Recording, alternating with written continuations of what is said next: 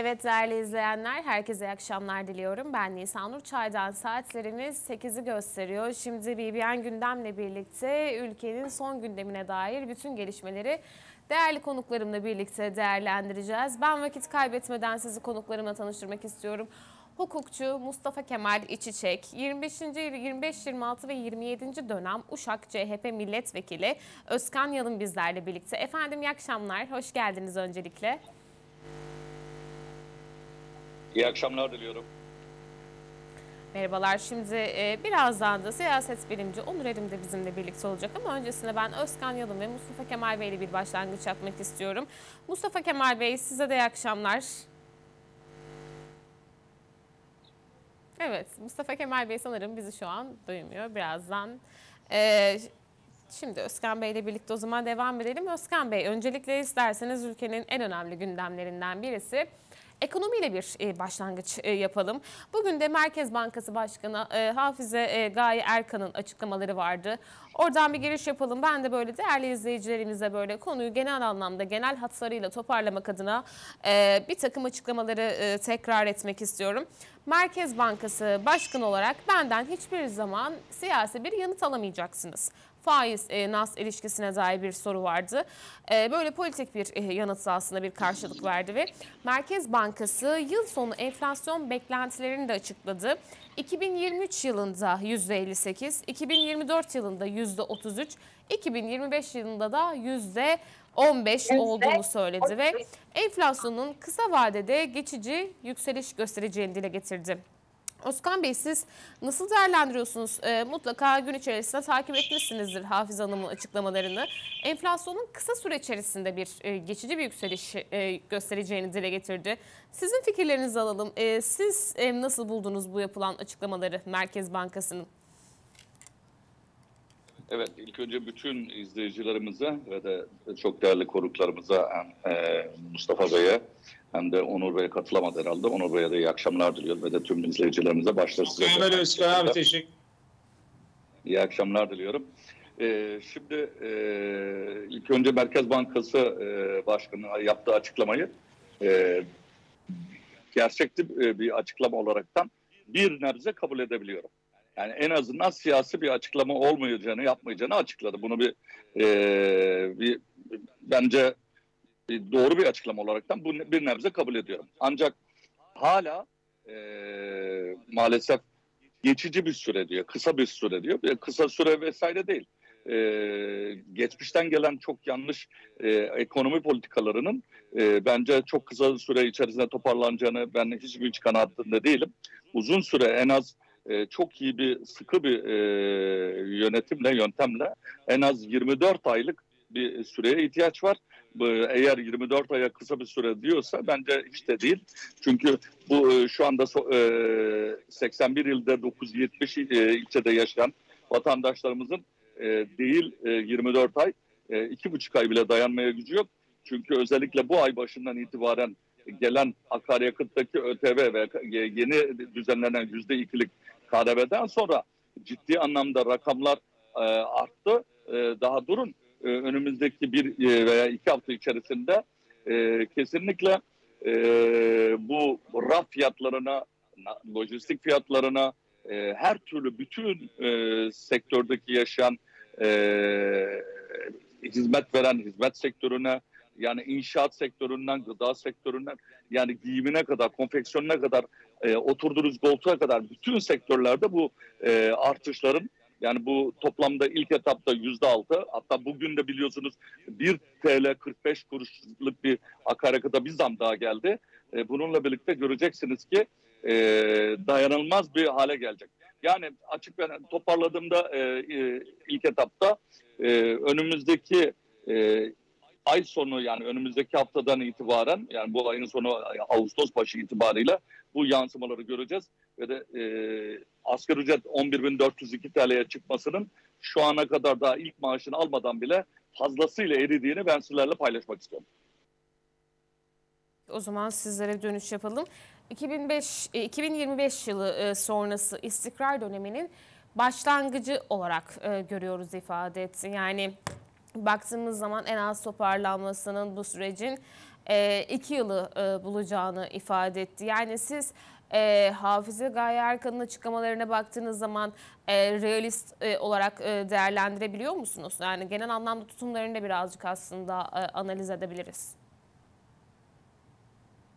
Evet Nisa Hanım öncelikle sizi ve e, Özkan abiye selam ve saygılarımı e, sunuyorum. Biraz önce sesim e, ulaşmadı zannedersem. Evet. Evet Merkez Bankası Başkanı bugün detaylı bir açıklama yaptı. Yani ekonomi bilgisini ön planda tutan işte iktisadi verileri kullanarak değerlendirme yaptı ama işin hiç kolay olmadığı da net olarak ortada. Yani ülkemizin şu anda ekonomik olarak yaşadığı sıkıntı artık yani toplumun e, hemen hemen tamamı tarafından hissediliyor. Belki mutlu bir azınlık vardır. Bunlar e, aşırı bir talep ile harcama kalemiyle bunu hissetmiyordur ama toplumun yüzde doksanı şu an itibariyle bu sıkıntıyı iliklerine kadar hissediyor. Bu net olarak e, ortada. Tabii Merkez Bankası önemli bir kurum. Çünkü fiyat istikrarını sağlamakla mükellef bir kurum. Ama şu anda bir fiyat istikrarı yok. İşte Bugün de işte Sayın Vekilimin ifade ettiği gibi akaryakıta bir zam gelecek ve 40 TL'ye koşan bir akaryakıt fiyatlarıyla karşı karşıyayız. Dün bakın e, çocuğum için servis kayıt e, için okuluna gittiğim zaman okul servis kayıt ücretini veremiyor. Diyor ki bugün fiyat bu ama bir ay sonra fiyatın ne olacağını bilemiyoruz. O zaman size ilave bir ücret çıkarabiliriz diyor. Şimdi e, bu belirsizlik öncelikle var. Bir de korunması gereken sektörler var. İşte öğrencileri okullara götürüp getiren servisler. İşte tarımla uğraşan, işte bunu e, Özkan abi iyi bilir e, Uşak yöresinde. E, çiftçiler, traktörler bunların hepsi sonuç itibariyle aynı rakamlarla bu akaryakıtlara ulaşıyorlar. E, siz buradan nasıl üretim bekleyeceksiniz? E, nasıl e, neticeler alacaksınız? Bunların hepsi müpem. Yani belirsiz ben şunu uzun zamandır ifade ediyorum.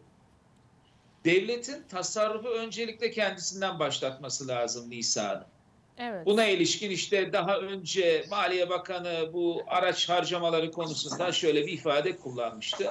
E, bunlar bütçede bir çekirdek bir rakamı kadar bile yer tutmuyor demişti. O zaman Maliye Bakanı'ydı, AK Parti'nin ilk dönemiydi. E, bugün ama işin ciddiyetini kavradığı kanaatinde bir genelge yayınladı.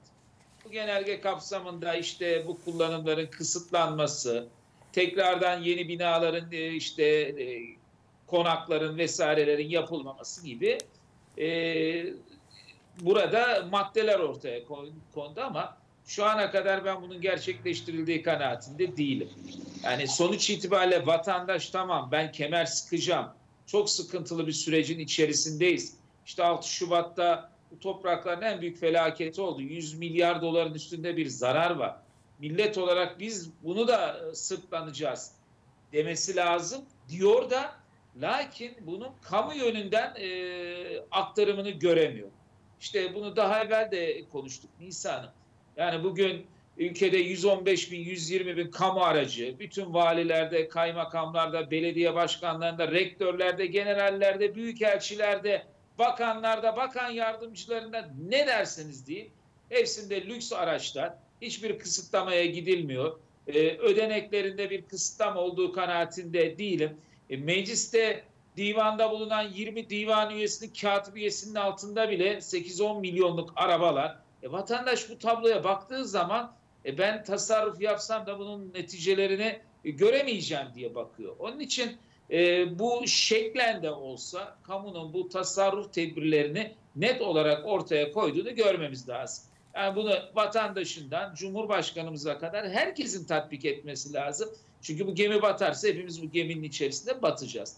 Şu anda şunu ortaya koymak lazım. Mehmet Şimşek'in e, işte biliyorsunuz e, Cumhurbaşkanıyla daha evvel defalarca görüşme yaptı. İşte Cumhurbaşkanı yardımcısı olarak ekonomide yer alacak, Maliye Bakanı olarak yer alacak, danışman olarak yer alacak gibi e, sözler ortaya çıktı. Ama sonuç itibariyle Maliye ve Hazine Bakanı olarak yer aldı. Ve işte kadrosunun belli bir kısmını, tamamını da e, belirleyemediği kanaatindeyim. E, çünkü Merkez Bankası Başkanı Sayın Cumhurbaşkanı ifade etti. Mehmet Bey e, istedi, ben de bunu tasdik ettim dedi. Ama es, es, eski Merkez Bankası Başkanı da e, BDDK Başkanı oldu mesela baktığınız zaman. Bu Burada öncelikle Mehmet Bey'in işte pozisyonunu biliyorsunuz. E, uluslararası fonlarla alakalı işte yöneticilik yapması nedeniyle Türkiye'ye ciddi oranda bir fon girişi sağlayacağı noktasında değerlendirmeler yapıldı. Ama görüyorum ki AK Parti'nin e, bu heyetleri tarafından da e, artık yavaş yavaş ifade ediliyor. Şu ana kadar öyle bir durum gerçekleşmedi. Hatta ki Sayın Cumhurbaşkanı Arabistan işte Katar'a işte Birleşik Arap Emirlikleri'ne de gitti. Yani gitmek durumunda kaldı esas itibariyle. İşte 50 küsür milyar dolarlıkta yatırımlar yapıldığı söylendi. Şu net olarak ortada. Bugün Merkez Bankası Başkanı da dedi. İşte e, rezervlerimizde bir artış var dedi. İşte çok e, işte 10 milyar dolar, 12 milyar dolar gibi bir rakam telaffuz etti zannedersem. Bir artış olduğunu söyledi. Ama e, verdiği periyot uzun bir periyot, kısa bir periyot değil. E şimdi e, Mart 2024'te de bir yerel seçim var. AK Parti bu yerel seçimde özellikle işte Cumhuriyet Halk Partisi'nin elinde bulundurduğu e, İstanbul, Ankara'yı istiyor. E şimdi bir seçime girerken e, seçim ekonomisinin olmaması mümkün değil. E bu süreçte bu nasıl tatbik edilecek? Buna ilişkin e, çok net ortaya bir şey konduğu kanaatinde değilim. Ama artık şunu ortaya koymak lazım ki fiyat istikrarı ortadan kalktı. E bizim anayasamızda işte 172. madde açıktır tüketicinin devlet tarafından korunacağına dair hükümler varken özellikle bugün gıda ve kira konusunda resmen bir e, terör boyutunda ciddiyet noktasında ele alınması gereken meseleler var. Olağanüstü bir süreç yaşıyoruz. İşte depremin getirileri getirdikleri ortada. Bir buçuk milyona yakın bağımsız bölümün yıkılması söz konusu. Bunların tekrardan yapılıp o vatandaşlarımızın oraya yerleştirilmesi lüzumu gerekiyor. E, bunlar da e, net olarak ortada iken e, işte biraz önce de ifade ettiğim gibi bu külfete hepimiz giriyorsak hepimizin aynı bedeli bir şekilde ödemesi e, gerektiği kanaatindeyim. E, Sayın Cumhurbaşkanı bunları ifade ediyor. Tasarruf, işte israftan kaçınılması yönünde. Ama bunların tam olarak şu an ben oturduğunu, şekillendiğini e, göremiyorum. E, en büyük temennim de görmek olacaktır. Vekilim ifade etti. İlerleyen süreçte yansımaları daha farklı olacak. İşte okulların açılacağı dönem 10 milyonun üzerinde yavrumuz okullara gidecek. E, kış geliyor elektrik e, ve işte ısınma şu anda belli bir miktarda yaz olması ve havaların sıcak gitmesi nedeniyle zaten kullanımı söz konusu değil ama önümüzdeki e, sonbahar ve kışta bu daha da netleşecek. Artık mevsimlerde de anormallik var. Ara mevsim yok. Ya kış oluyor ya yaz oluyor ya yaz oluyor ya kış oluyor. Böyle bir durumla da karşı karşıyayız. Çok ciddi tedbirlerin alınması gerektiği kanaatindeyim olağanüstü dönemlerden geçiyorsak da olağanüstü tedbirlerin alınması lazım. Evet. Netice itibariyle şunu söylüyorum. Çok kazanandan çok az kazanandan az alınacağı, vergi adaletinin bu şekilde biçimlendirileceği bir durum lazım. Yoksa dolaylı vergilere yüklenerek işte benzinde, akaryakıtta e, vergi yükünü yüksek noktalara getirerek yani o benzinliklerin bir nevi vergi dairesi gibi tahsilat işine girişmesini sağlayarak bir netice almanın da pek mümkün olduğu kanaatinde değilim Nisa. Evet teşekkür ederim. Şimdi o zaman ben e, Özkan Bey hemen e, sormak istiyorum.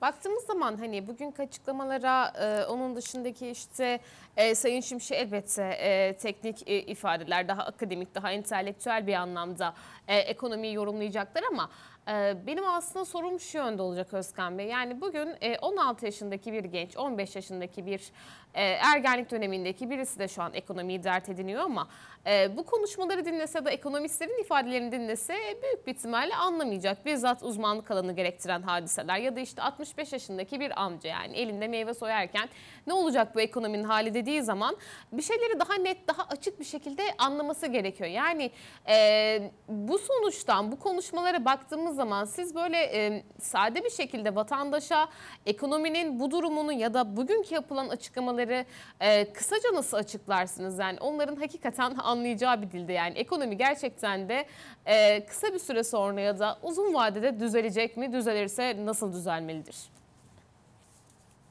Evet, teşekkür ederim Nisa Hanım. Ben ilk önce, biraz önce Mustafa kardeşime e, galiba e, selam verdim. E, ses gitmedi. E, evet. Mustafa kardeşime de e, selamlar ve de e, yaptığı yorumlardan dolayı da teşekkür ederim. E, ona da iyi yayınlar diliyorum.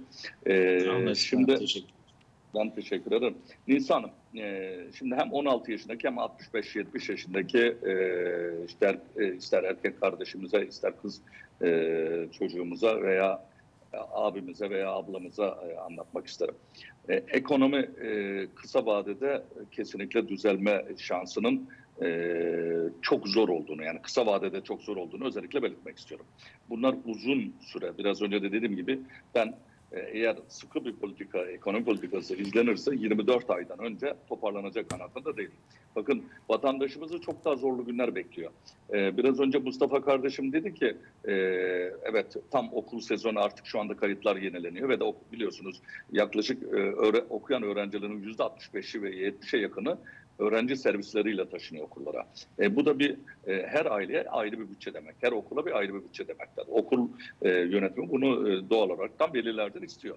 E, ve de bugün peşin öderse ne olacağını belki e, deklar edebiliyor bu rakamı ama önümüzdeki bir ay sonra deklar edemiyor. Çünkü ben akaryakıt fiyatlarının e, 2023 sonu Aralık e, sonuna kadar e, 50 TL'ye dayanacağı kanaatindeyim. Ben bunu şimdiden bu bugün de bu not alın. Yani e, Aralık ayında akaryakıt fiyatlarının 45 ile 50 TL'ye e, dayanacağını ben şimdiden sizlerle paylaşmak istiyorum maalesef. E, tabii ki istemem ama bu görünen köyde kılavuz istemiyor.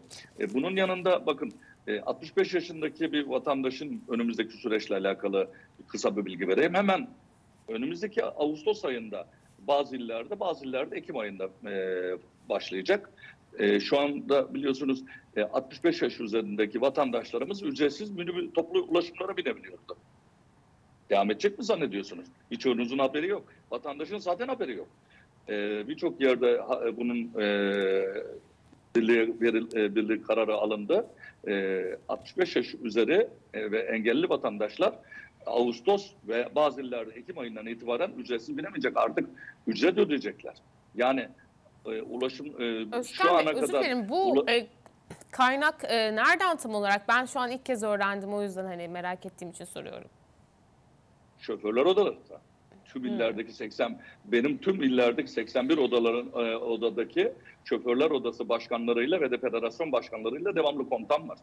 Yani sonuç itibariyle önümüzdeki süreçte belediyeler de bu rakamı karşılamadığı için sadece 2200 TL bir e, minibüse bir otobüse ücret veriliyor. E, 65 yaş üzerindeki vatandaşları taşıması için. Artık şoförler odası iflas etti, durdu. Yani neden? Üyeleri dedi ki ben taşıyamayacağım dedi. Ve de bu karar alındı. Birçok ilde Ağustos ayı itibariyle birçok ilde de e, en geç Ekim ayı itibariyle eğer yeni bir e, düzenleme yapılmazsa e, merkezi hükümetten veya belediyeler tarafından ciddi anlamda bir düzenleme ve ek kaynak verilmezse 65 yaş üzerindeki vatandaşlar artık ücretsiz taşıyamayacaklar. E, toplu taşıma ücreti yapan firmalar. Evet. Bunu özellikle şimdiden sizinle paylaşıyorum. Bu ilk defa duyulduğunu ben biliyorum. Benden de Evet. e, buradan da duymuş olun. E, şimdi bunun yanında genç arkadaşlarımıza gelince, genç arkadaşlarımızın birçoğu e, evet devlet okullarında okuyor veya özel okullarda okuyor. Artık özel okullarda yurt ücretlerinin ne kadar olduğunu e, tahmin edebiliyorsunuz. E, Geçen yıl e, ortalama 10-12 bin liraydı, 15 bin liraydı. Bu ay 25 binden 30 binden aşağı aylık yurt ücreti yok hiçbir yerde. Peki bunların sebebi ne? Nisan'ım esas bunun sebebi ne olduğunu bir gelelim. Yaklaşık yine 24 ayı e, baz alacağım. Geçmişteki 14 Mayıs önceki öncesi 24 ay özellikle son 12 ay veya özellikle son 10, a- e, 10 ay ve son 6 ay tamamen de- devlet bütçelerinin seçim e, çalışmalarında kullanılıp hatta bir aylık tüm vatandaşların doğalgaz ücreti bile alınmadığını unutmadık. Bunları hepimiz biliyoruz. Yani yapılan yanlış siyasi ekonomi politikaların seçim kazanmak amacıyla olduğundan dolayı hepsi şişti. Merkez Bankası'ndaki 128 milyar dolar eridi. Eksi rezervlere gidildi. Toplam 450 kusur milyar dolar nere- nereye gittiğini bilmiyoruz harcandı. Bunların birçoğu da biliyorsunuz e, döviz garantili fonlar oldu. E, hesaplar oldu. Hala da devam ediyor. Artık yenilenemiyorlar. Biliyorum bunu takip ediyorum. Yenisi açılmıyor ama daha düne kadar açılıyordu. Artık yenileyemiyor. Çünkü yeni Merkez Bankası Başkanı ve de e, ekonomiden sorumlu e, Sayın Bakan Şimşek e, bunu e, durdurulmasını istedi ve de şu anda yenilenmiyor. Ama şu ana kadar yapılmış olan kocaman bir kuyu var, delik var. Bu deliği kapatmak, e, doldurmak yani gerçekten çok uzun süre alacak. E, bu tabii ki bunun ceremesini kim çekiyor? Seçim zamanında seçim e, kazanmak adına har vurulup harman savrulan işte bir aylık doğal gaz faturaları, elektrik faturaları, zam yapılmayan e, süreçler, e, yanlış e, siyaset yöntemi, yanlış ekonomi politikası, dövizin artmasını engellemek için e, e, döviz e, Merkez Bankası'nda veya özel bankalarda e, kitleme operasyonu işte buraya getirdi. Seçim bitti, döviz bir anda 4, e, 7 TL'ye kadar yükseldi. Yani 20, 21'den e, 22'den bir anda 29,5-30'lara gördü biliyorsunuz. Yani sonuçta hepsi birikti birikti ama e, ama e, şunu da özellikle belirtmek istiyorum. Sayın e, Cumhurbaşkanı her zaman e, bir şansı var bir taraftan da onu da özellikle buradan belirtmek istiyorum. E, bundan e, 3-4 yıl önce pandemi vardı, Covid-19 vardı. Şimdi de 6 Şubat'ta yaşadığımız gerçekten felaket e, diyebildiğimiz ve de kendimin de şahsen e, Maraş'ta ve e, birçok ilde yaşadığım özellikle Maraş'ta 35 günümü geçirdim. E, burada gördüğüm tabloyu da yani anlatmama gerek yok. Tamam bu büyük bir felaket ama bunun e, bu felaketi zaten bizim duyarlı vatandaşımız ilk bir buçuk ay içerisinde özellikle ilk 30 gün içerisinde e, birçok e, boyutta gerekeni yaptı. Ama şimdi esas ekonomideki seçim kazanmak adına yapılan yanlış politika, ekonomi politikasının ceremesini şimdi vatandaşa ek yüzde ikilik KDV, bunun yanında e, akaryakıta gelen yüzde beşlik zam artı bir e, ö, KDV'si e, yüzde beş ÖTV artı bir KDV'si yüzde altılık zam. Bunun üzerine iki defa da son e, iki haftadır her hafta yapılan birer, e, birer buçuk TL'lik ortalama zamla bugün 30 TL'ye dayanan bir akaryakıt fiyatı var. Ben önümüzdeki günlerde hayatın çok zorlaşacağını, çok çok daha zorlaşacağını her anlamda bakın A'dan Z'ye. Yani nereye durum hiç iyiye gitmiyor mu diyorsunuz Özkan Bey? Bundan sonraki süreçte düzelmek Hayır. yerine daha da kötü olacak. Bakın e, belki yönetim tarafından, merkezi yönetim tarafından bir nebze iyiye gidebilen, e, gide- gösterilen veya giden bir tablo e, veriler olaraktan görebiliriz. Ama e, yerlerde sürünecek olan bir vatandaşımızın kirasını ödeyemeyecek. Bugün kira rakamları İstanbul'da, İzmir'de, Ankara'da, Ankara'da 81 öde. Evet. Ya ner, nereden tutarsanız tutun en küçük ilde bile Bayburt'ta bile 3000 TL'nin altında bir e, kira yok. İstanbul'da ortalama bir e, bir yani iki, bir e, iki çocuk e, bir anne babanın yaşayacak olduğu bir daire 15 binden aşağıya yok imkansız. Varım diyen varsa çıksın. Yok. Yani ortalama 20 bin TL kira. E, bunun yanında doğalgaz biliyorsunuz onda da çok afaki ÖTV geldi. Yüzde 300 arttı. E, buyurun şurada e, Mustafa kardeşimin dediği gibi şu anda doğalgaz tüketilmiyor ama e, Kasım ayında başlayacak. E, Ekim'in sonunda başlayacak. E, eskiden 1500-2000 TL ödenen, ödenen doğalgaz faturaları e, bu yıl 3000-3500 civarında rakamlar minimum gelecek. E, aynı şekilde elektrik rakamları. Ve bunun yanında toplu ulaşım veya özel aracı varsa ben tahmin etmiyorum artık devlet memurlarının bile birçoğunun yani e, bizde bir deyim vardır şoförler e, e, e, şeyiyle deyimiyle. Artık e, doğan görünümlü şahin bile devlet memuruna fazla geldi artık bu memlekette.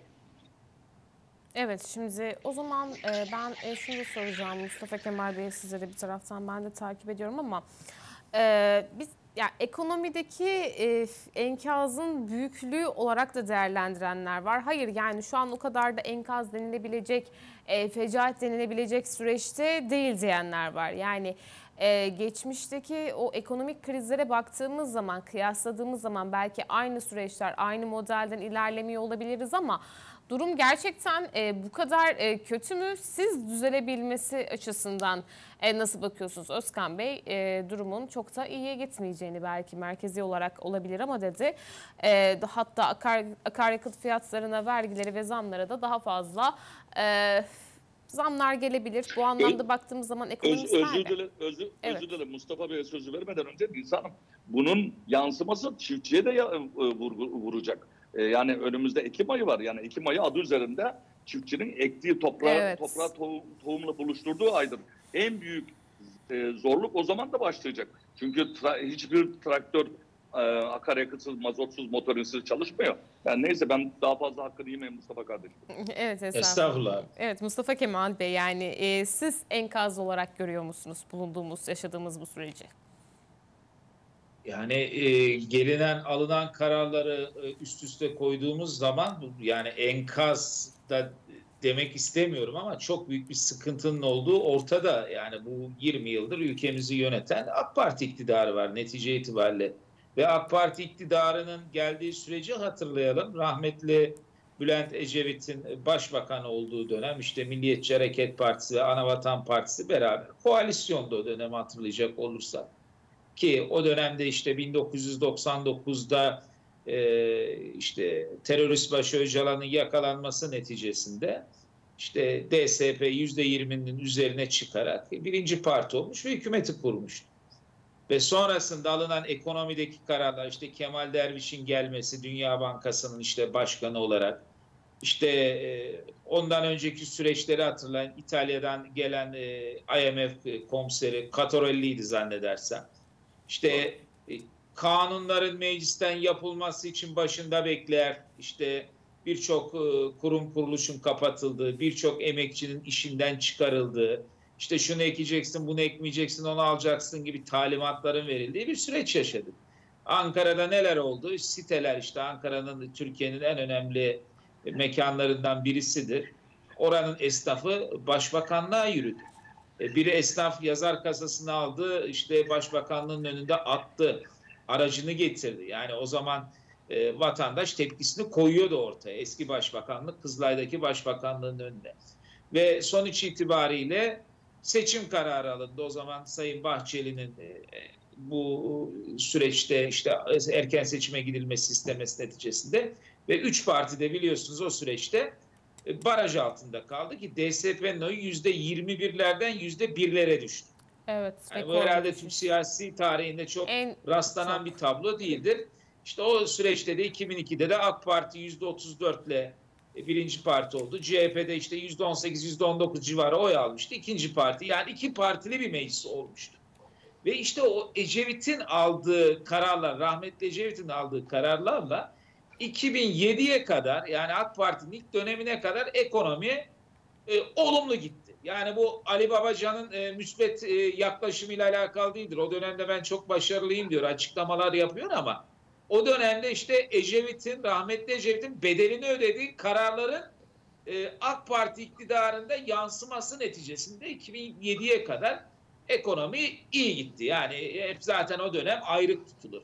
Ama e, sonrası süreçte işte dünyada doların bollaşması, bu dolardan Türkiye'nin de nasiplenmesi ama bunun yatırıma gitmemesi, binalara gitmesi, betona gömülmesi neticesinde e, birçok çarpan etkisinin olduğu süreçler yaşandı. İşte bu gidişat zaten netice itibariyle ortada. Bugün bakın dünyada e, dış devletlere yardım eden e, herhalde dördüncü veya beşinci bir ülkeyiz. Yani Amerika'dan, Hollanda'dan, İngiltere'den sonra en çok dünyadaki devletlere yardım eden bir ülkeyiz. Bu edilmeli buna bir şey demiyorum ama bizim gücümüz milyar dolarları yardım olarak verecek bir güç değil.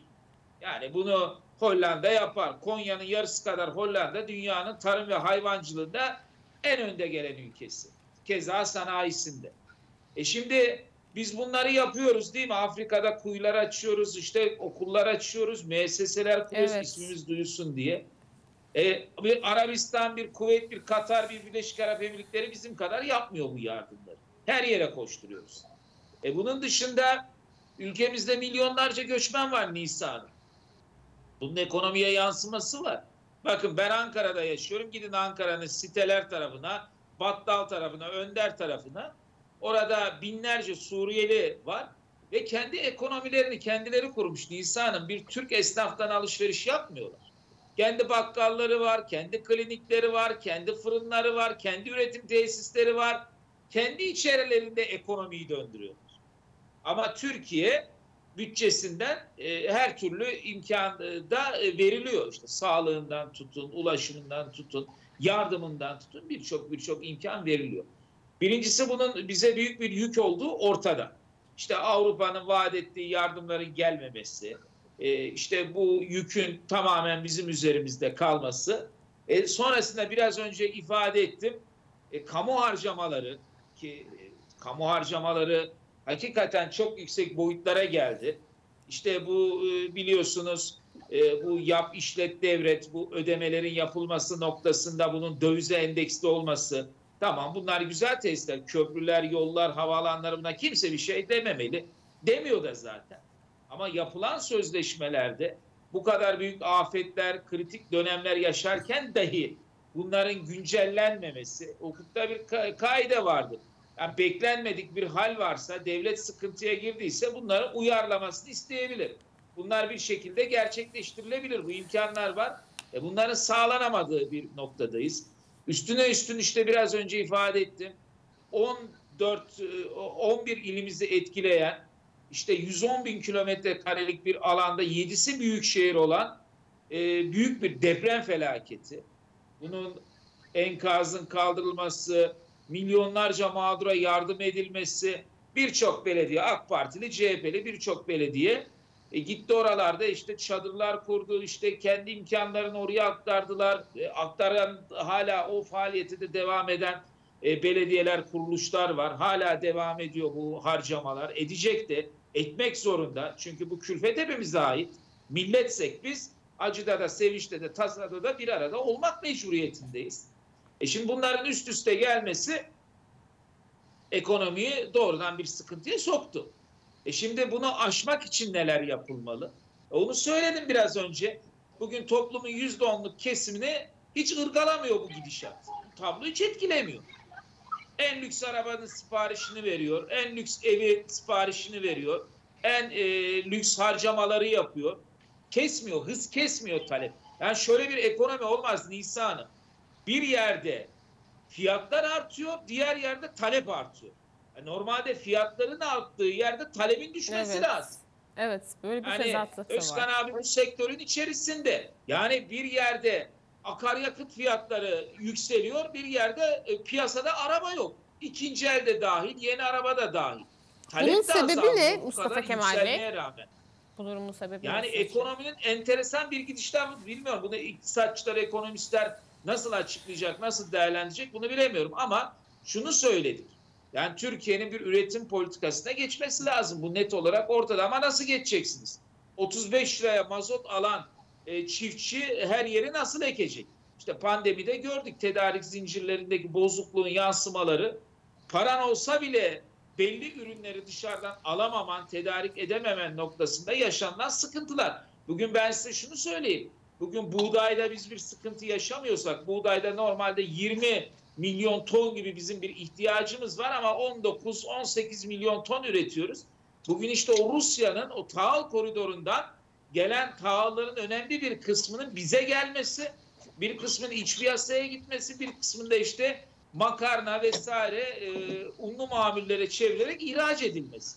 Yoksa buğday üretiminde de biz rekolteler kırıyor vaziyette değiliz. Çünkü çiftçi de ekmekten imtina ediyor maliyetler çok yüksek olduğundan dolayı. Yani üretelim, ekelim dediğiniz zaman işte hayvancılık bugün gittiğiniz zaman kıymanın kilosu 350 TL. Kalitesine göre 400-500 liraya e, yaslanmış durumda fiyat. E şimdi hayvancılıkta da bu sıkıntıları yaşıyoruz. E çünkü sizin e, hayvancılık yapacak nüfusunuz kalmadı köylerde. Herkes şehirlere gidiyor. E, şehirlerde hayatını idame ettirmek istiyor. Oralarda bir teşvik mekanizması e, olmadığı için veyahut da yeterli olmadığı için kimse ona gitmiyor. Bugün gidin Ankara'nın kırsalına çıkın.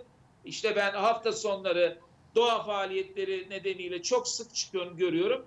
E, sürüleri gördüğümüz zaman bunların hepsiyle muhatap olanlar Afganlılar. Yani şu anda 10 sürü görüyorsanız 9'unun başında Afganlılar var. Evet. Belki Türkiye'nin her yerinde bu böyle. Sadece buraya mahsus bir durum da değil. Yani sonuç itibariyle e, bu sıkıntılarımız ortada. E, vatandaş AK Parti'ye çok büyük bir yetki verdi. Yani 20-21 yıllık bir iktidar döneminin ardından bir 5 yıl daha tanıdı.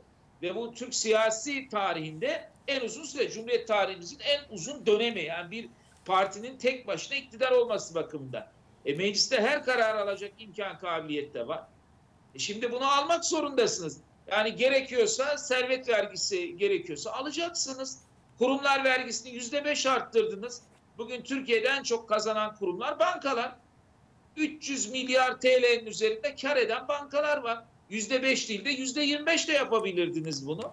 Ama en kolayı bunun nedir? Dolaylı vergilere yüklenmek. ÖTV'yi arttırmak, MTV'yi arttırmak, KDV'yi arttırmak. E bunun da yansıması telafisi çok çok çok güç noktalara götürüyor. Bugün tedarik zinciri işte e, pazara gittim işte Keçiören pazarındaydım hafta sonu cumartesi günü.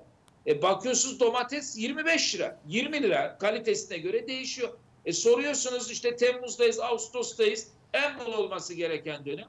E, orada pazarcı esnafı diyor ki işte akaryakıttan dolayı büyük maliyet bindiriyorlar abi diyor. Halde mal yok diyor. Halde mal yok diyor. Orada haldeki satıcı diyor alırsan al almazsan alma kardeşim diyor. Benim fiyatım bu diyor. Ben bu fiyata getiriyorum diyor. Daha biz hal kanununu bile düzenleyemedik. E, pazardaki Keçiören Ankara'nın orta halli bir semtidir. Oradaki 20 lira ürün Çankaya'daki bir pazarda 30-40 liraya satılıyor. Yani şimdi bu düzenlemeleri yapmazsak, bu kontrolü sağlamazsak e, vatandaş bunun altında çok çok eziliyor. Yani vatandaş şunu yaptı. Belki konuşacağız ilerleyen bölümlerde. E, burada işte ana muhalefet partisinin başında bulunan yöneticilerin de yanlışlarını zaten e, Türkiye yani bu bedeli sadece Cumhuriyet Halk Partisi ödemiyor. Cumhuriyet Halk Partisi'nin yönetenler işte e, 13 yıl partiyi kontrol eden istediklerini vekil yapan, belediye başkanı yapan bir gün çıktı işte biz değiştik diyor. O aldıkları kararlar neticesinde bugün Türkiye'de kaybediyor Nisan'ım. Çünkü Cumhuriyet Halk Partisi bu tabloda olunca Türkiye'de de bir dönüşüm olmuyor, değişim olmuyor. Beraber bu ceremenin hepsini çekiyoruz. Ve netice itibariyle tabloya baktığımız zaman da olumlu yöne gideceğine gösterir hiçbir emare yok. Hiçbir emare yok. Yani siz e, ne yapmanız lazım? Şimdi şöyle düşünülüyor. İktidar diyor ki ben işte ekonomiyi düzelteyim diyor. E, bir tarafta şu anda işte muhalefettekiler de diyor ki ekonomi daha da sıkıntıya girsin. İşte yerel seçimlerde ben birkaç belediye kazanayım, yerel yönetimlerde başarılı olayım, arkasından erken seçim isteyeyim diyor. E burada istikrar olur mu? Burada vatandaşın lehine bir tablo olur mu? Mutlak suretle olmaz. İşte vekilim kaç dönem milletvekilliği yaptı. Ben biliyorum kendisini. O zaman işte e, karayolcuların, tırcıların sorunlarını getirmek için tıra bindi. Tırla işte yolculuk yaptı. Yani vatandaşın o süreçlerini anlatmak için içine, işin içine girdi. E bugün mecliste yapılan zamları, KDV'leri, şunları bunları gündeme alalım diye toplantı tertip ediliyor. Belki muhalefet vekilleri tamam o toplantıya iştirak etse meclis açılacak, bu tartışılacak. Ama milletvekilleri gelmiyor muhalefet milletvekilleri. Ve gündeme bu bunları gündemde mecliste değerlendirecek bir ortam oluşmuyor. Netice itibariyle şunu söylemek lazım. Yani bu noktaya gelinmesinde iktidar mutlak güç 20 yıldır Türkiye yönetiyor sorumluluğu var ama maalesef muhalefetin de sorumluluğu var. Ben sadece şunu söyledim Nisa Hanım. Bugün bu depremi yaşadık. Tarihimizden büyük felaketini yaşadık. Değil mi? Ee, siyasi partiler devletten verilen milyarlarca TL'lik hazine yardımından feragat ettiler mi? Etmediler. Belki bağışlarında AK Parti dedi ki ben bağışı almayacağım işte Kızılay'a vesaireye AFAD'a bağışlansın dedi. Ama e, netice itibariyle hazine yardımından hiçbiri feragat etmedi. Hazine yardımlarının nerelere gittiği de işte günümüzde ortaya çıkıyor değil mi? İşte sözleşmeler çıkıyor, kanallara paralar verildiği çıkıyor. Bu sadece CHP açısından da değil. Başka yerlerde de bunlar var ama bunlar ifşa olmuyor. CHP'de daha e, kolay ifşa oluyor. Orada bile fedakarlık gösterilmedi Nisa. Onun için vatandaş bunu görmek istiyor. Muhalefet bunu yapsın, iktidar bunu yapsın. Onlar ne yapıyor ben göreyim ona göre biz topyekun bu işin içerisindeyiz dediğini görmek istiyor. Maalesef şu ana kadar da görülmüş de değil Nisa Yani her iki tarafta da e, kabahatler var diyorsunuz Mustafa Kemal Bey. Hani çünkü şunu da söyleyenler var. Mü? Böyle bir durumda işte nasıl muhalefeti e, suçlayabiliyorsunuz? İşte yönetim zaten bunların elinde değil mi? 21 yıldır da bunlar yönetiyor. Ekonomide özellikle işte 2018'den bu yana berbat bir noktaya ilerledi. Muhalefet nasıl suçlanır diyenler de oluyor. O açıdan hani e, açıkçası ben de merak ettim tabii. Ve Nisan'ım ben şunu söylüyorum. Bakın yani şunu ortaya koymak lazım.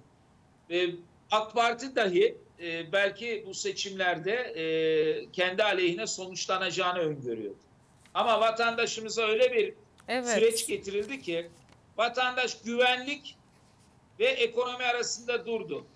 Benim güvenliğim elden giderse dedi, ekonomiyi ne yapayım? Toprak bulamazsam ben ne ekeceğim dedi. Güvenlikten olan yana doğru tavır aldı. Evet. Ya şimdi. ben burada vekilimin yanında çok şey ifade etmek istemiyorum ama bugün Cumhuriyet Halk Partisi yüzde bir bile olmayan partilere beni hakimlikten üç kere elemiş Sadullah Ergin ismindeki kişiyi bugün Atatürk'ün Çankaya'sından milletvekili yaptı. Milletvekili olmadan önce benim partimin genel başkanı e, Muharrem Erkeğin önünde el pençe duran o genel başkan yardımcılar fotoğrafları var. Hepsi onar 15'er milletvekilini alıp gittikten sonra bizim toplam oyumuz yüzde yedi. CHP başarılı olmadı dediler. Kim bu kararları verdi? Cumhuriyet Halk Partisi'nin fedakar, cefakar, o bayrağını direğe diken insanların emeğini alıp 40 tane milletvekilini buna kim verdi? Bunun hesabının verilmesi lazım. Evet. Bunları Şimdi. soruyorum. Yani illaki başarı ülkeyi yönetmek değil. Moral olarak da öne geçmek. Moral olarak da bunu yapmak. Sonuç itibariyle e, bu dönemde işte 9 Eylül'de 100 yaşına girecek bir parti var ortada. Ama 100 yaşına girecek partide işte bunları ortaya sokanlar, yok 100 yıldır soyadından kaynaklı olarak milletvekili olanlar bugün Cumhuriyet Halk Partisi politikasını verir. Ben 10 yıl avukatlığını yaptım Cumhuriyet Halk Partisi. Menfaatlerini savundum ama mahalle delegesi dahi olamadı. Evet Neden? şimdi. Atatürkçü olduğumuz için, Özür vatansever olduğumuz için, ülkemizi, bayrağımızı sevdiğimiz için. Yukarıda bulunanlara ben bunu ifade mi edeceğim? Oradakiler görecek bunu. Mustafa Kemal Bey şimdi bu konunun detaylarını isterseniz Nasıl efendim. bir tablonun olduğu da ortada. Evet detaylarını konuşacağız. Önemli noktalara gerçekten değiniz. Ee, ben de tek tek notlarımı aldım. Ee, şimdi e, kısa bir reklam arasına geçiyoruz. Reklamlardan sonra kaldığımız yerden devam edeceğiz.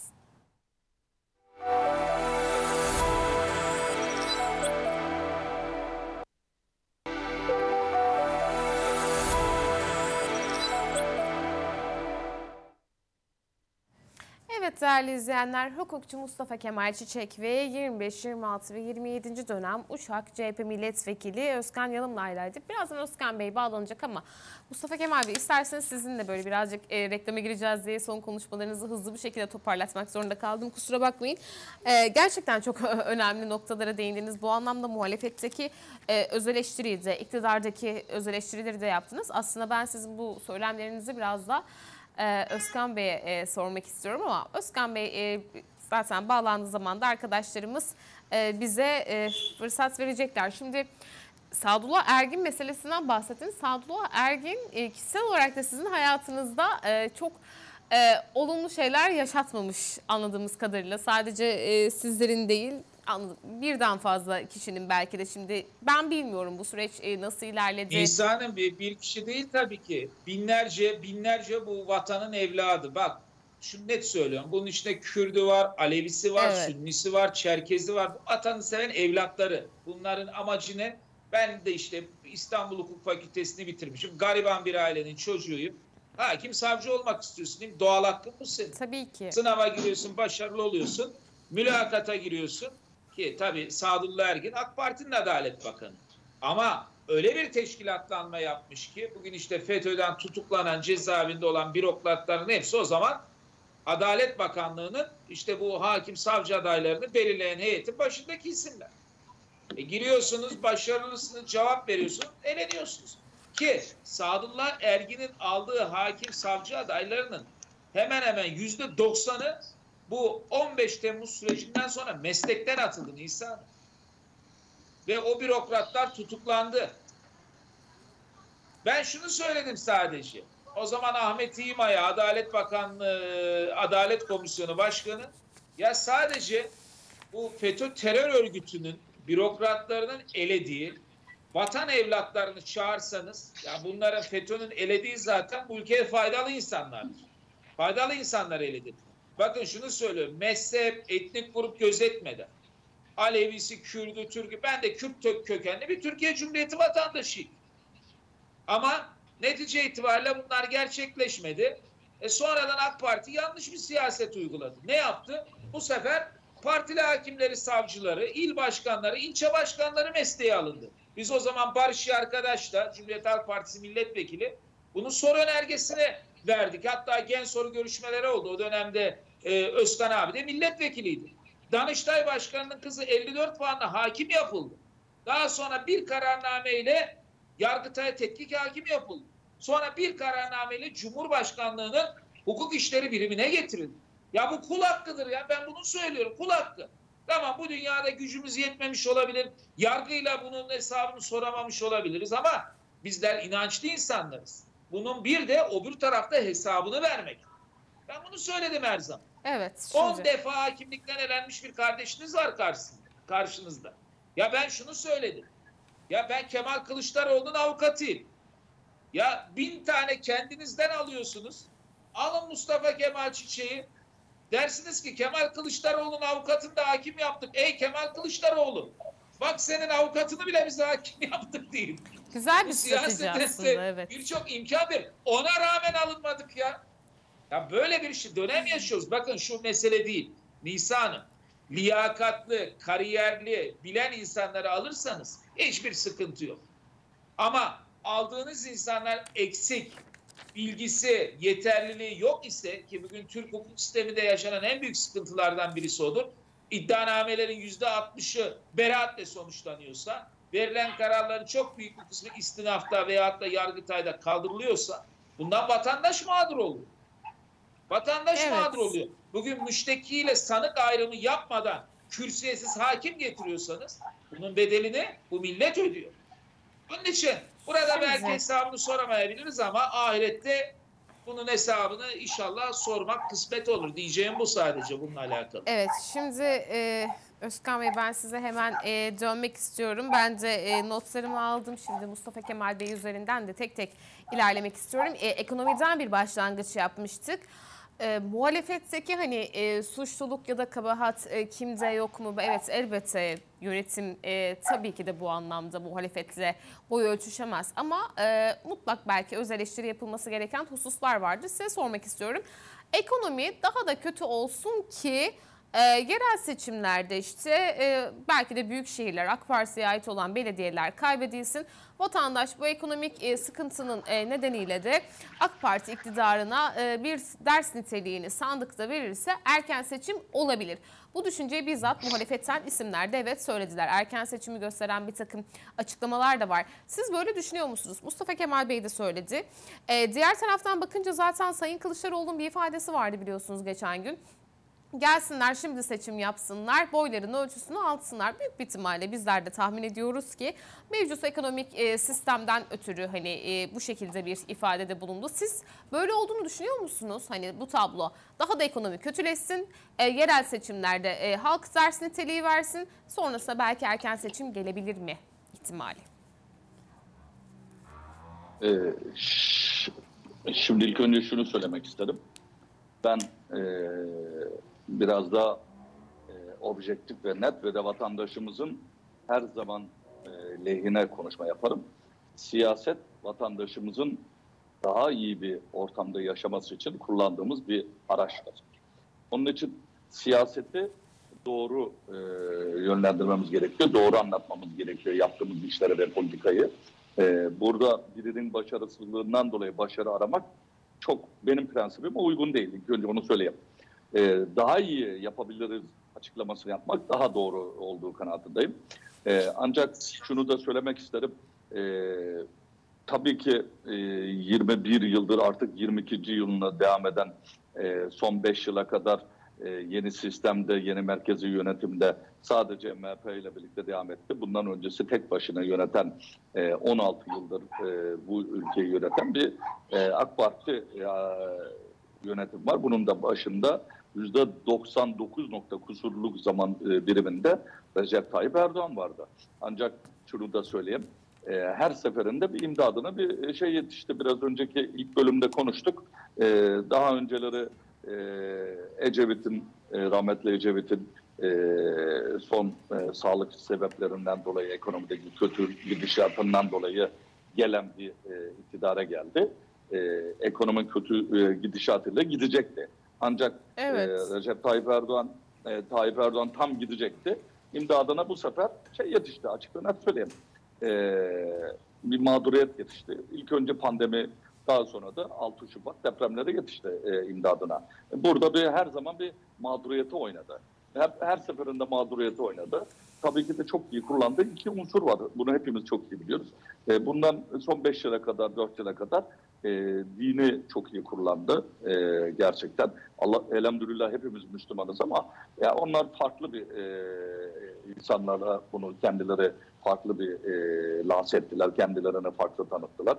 E, bizlerden daha iyi Müslüman olduğunu tanıtmaya çalıştılar. Belki biz görevimizi daha iyi yapıyoruz. Bunun, bunun ölçüsünü ne hiçbir kul veremez. Bunun ölçüsünü sadece e, Allah'ımız verir. Ancak buradan iyi bir e, yürüdüler ama son seçimde 14 Mayıs'tan önce özellikle son 60 gün son 2 aylık süreçte e, yaptıkları tek şey milliyetçilik. Yani biraz önce e, Mustafa Kemal kardeşim de dediği gibi vatandaş dedi ki ekonomi ne kadar kötü olursa olsun benim ülkem elden gidiyor algısını e, yarattırdılar ve de ülkem elden gidiyor diye vatandaş tekrar birçoğu Recep Tayyip Erdoğan AK Parti'ye oy verdi. Ama kesinlikle böyle bir şey yoktu. Artı e, başta ben veya hiçbir milletvekili arkadaşımızın bizim ne bir terör örgütüyle başta PKK, e, IŞİD vesaire aklınıza gel, ne gelirse gelsin, ne diye FETÖ, aklınıza hangi terör örgütüyle gelirse gelsin bizim hiçbir alakamız yok.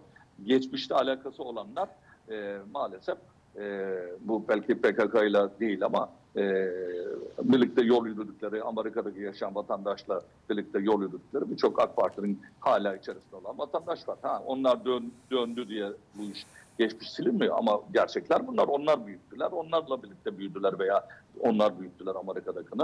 Yani sonuçta e, ne oldu? 14 Mayıs'tan önce e, e, maalesef bizleri, başta genel başkanımız ve de yönetimimiz olmak üzere bizleri e, terörle bir araya getirmeye çalıştılar. Tabii ki e, sizi tenzih ediyorum. Birçok e, haber e, TV kanalı ve e, radyo kanalı e, başta devletin e, TRT ve e, hem FM olarak hem e, radyo kanalları olaraktan e, bunu çok iyi lanse ettiler. E, bu da vatandaş dediğim gibi e, ben e, memleketime sahip çıkayım, ekonomi batsa da batsın yeter ki e, kendi memleketimde yaşayayım diye sürünsem de kendi memleketimde yaşayayım algısını çok iyi becerdiler ve de ben Kemal Bey'le bu konuyla alakalı ciddi de bir, bir iki defa görüşmem olmuştu. Hatta bundan yaklaşık e, milletvekilliği sürecim içerisinde iki buçuk, üç yıl önce ciddi derecede bu konuda eleştiri görmüştüm. Suriyeliler politikası yüzünden. Bakın ben Suriyelilerin e, bu memlekete bir tek Suriyeliler değil yani mültecilerin, e, yabancıların bu ülkemize başımızın belası olacağını ben o zamanlar gördüm, söyledim. E, ben ırkçı bir insan değilim. Ben 20 kusur yıl Belçika'da yaşadım, Brüksel'de yaşadım. Belçika Evet. vatandaşıyım, çifte vatandaşım. Ama ben bu ülkede bu kadar sığınmacının bir anda gelip koloni şekilde olmasına yani İstanbul'da giremediğiniz sokaklar var, Ankara'da giremediğiniz sokaklar var. Uşak'ta belirli bir yerde Afganların mahallesine giremediğiniz sokaklar var. Biraz önce Mustafa kardeşimin dediği gibi ekonomilerini bile kendileri çeviriyor. Kendi dükkanlarını açmışlar. Kendi her türlü berberini, kahvehanesini, e, toptan e, gıda ürününü satan kendi dükkanları var. Kendi ekonomilerini çeviriyorlar. Ama şunu söyleyeyim, e, bir dahaki seçimde e, Antep'ten sonraki e, sınır ilimizin adı neydi e, Mustafa e, en küçük illerimizden? E, Kilis, Söyler misin? Kilis. Kilis. Kilis. E, Kilis'in, Kilis'in belediye başkanı önümüzdeki dönemde kim olacak? E, milletvekilleri kimden olacak? Yani bu an- ondan sonra An- Antep'teki kaç e, e, yaklaşık 14 milletvekili çıkıyor benim veya 13 tane tam e, 14 veya 10 14 olması lazım. E, kaç tanesi An- e, Suriyeli olacak önümüzdeki süreçte? Hatay'da aynı şekilde.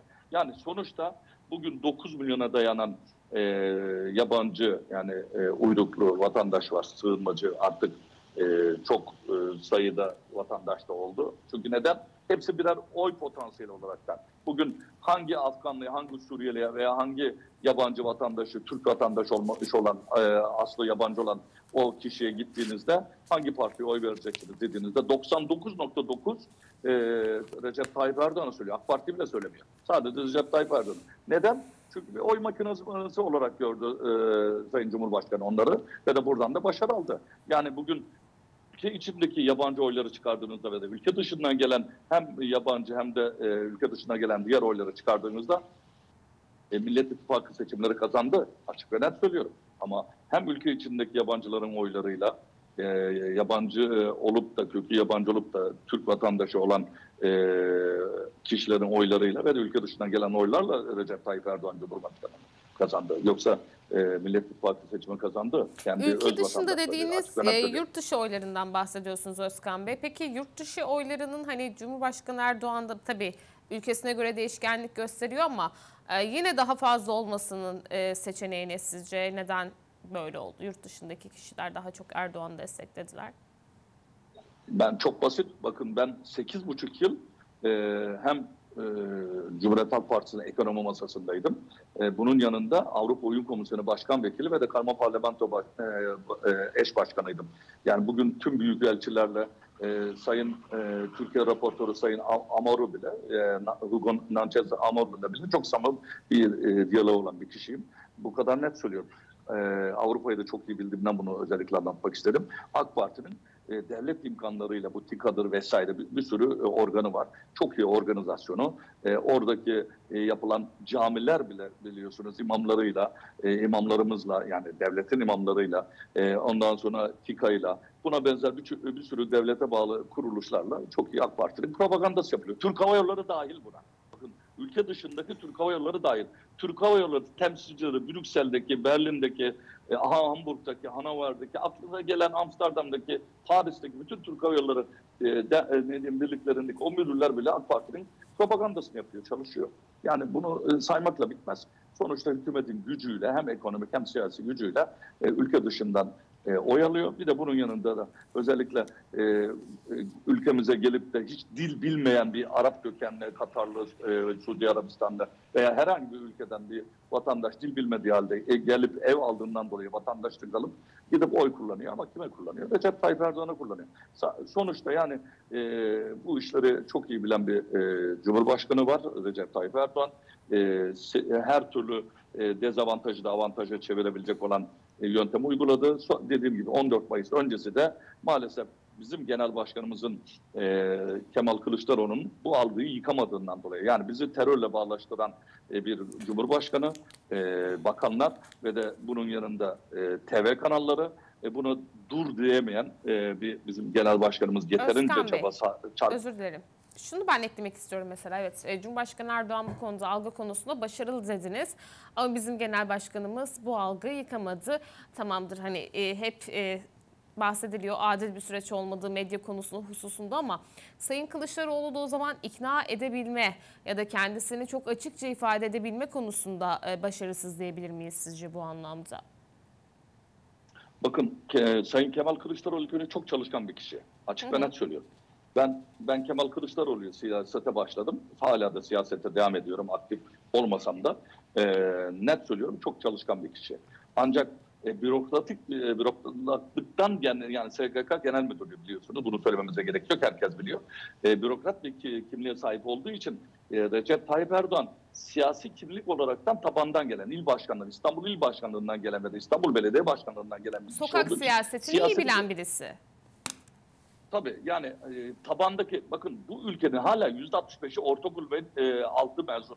Yani e, yüzde 35'i lise ve üniversite mezunu, yüzde 60 ve 65'in altı yani e, 65'e kadar olan bölüm e, ortaokul ve ilkokul ve e, hiç okumamış hala e, mevcut e, vatandaşımız var. Onun için algı yönetimi özellikle de ekranları 38 tane TV kanalını yaklaşık yüzlerin üzerinde e, radyo kanalında yanınıza aldığınız anda siyahı beyaz diye, beyazı siyah diye artık vatandaşa lanse etmek veya inandırmak çok daha kolaylaşıyor. E, bunu da becerebilen bir e, e, Cumhurbaşkanı var açık ve net söylüyorum.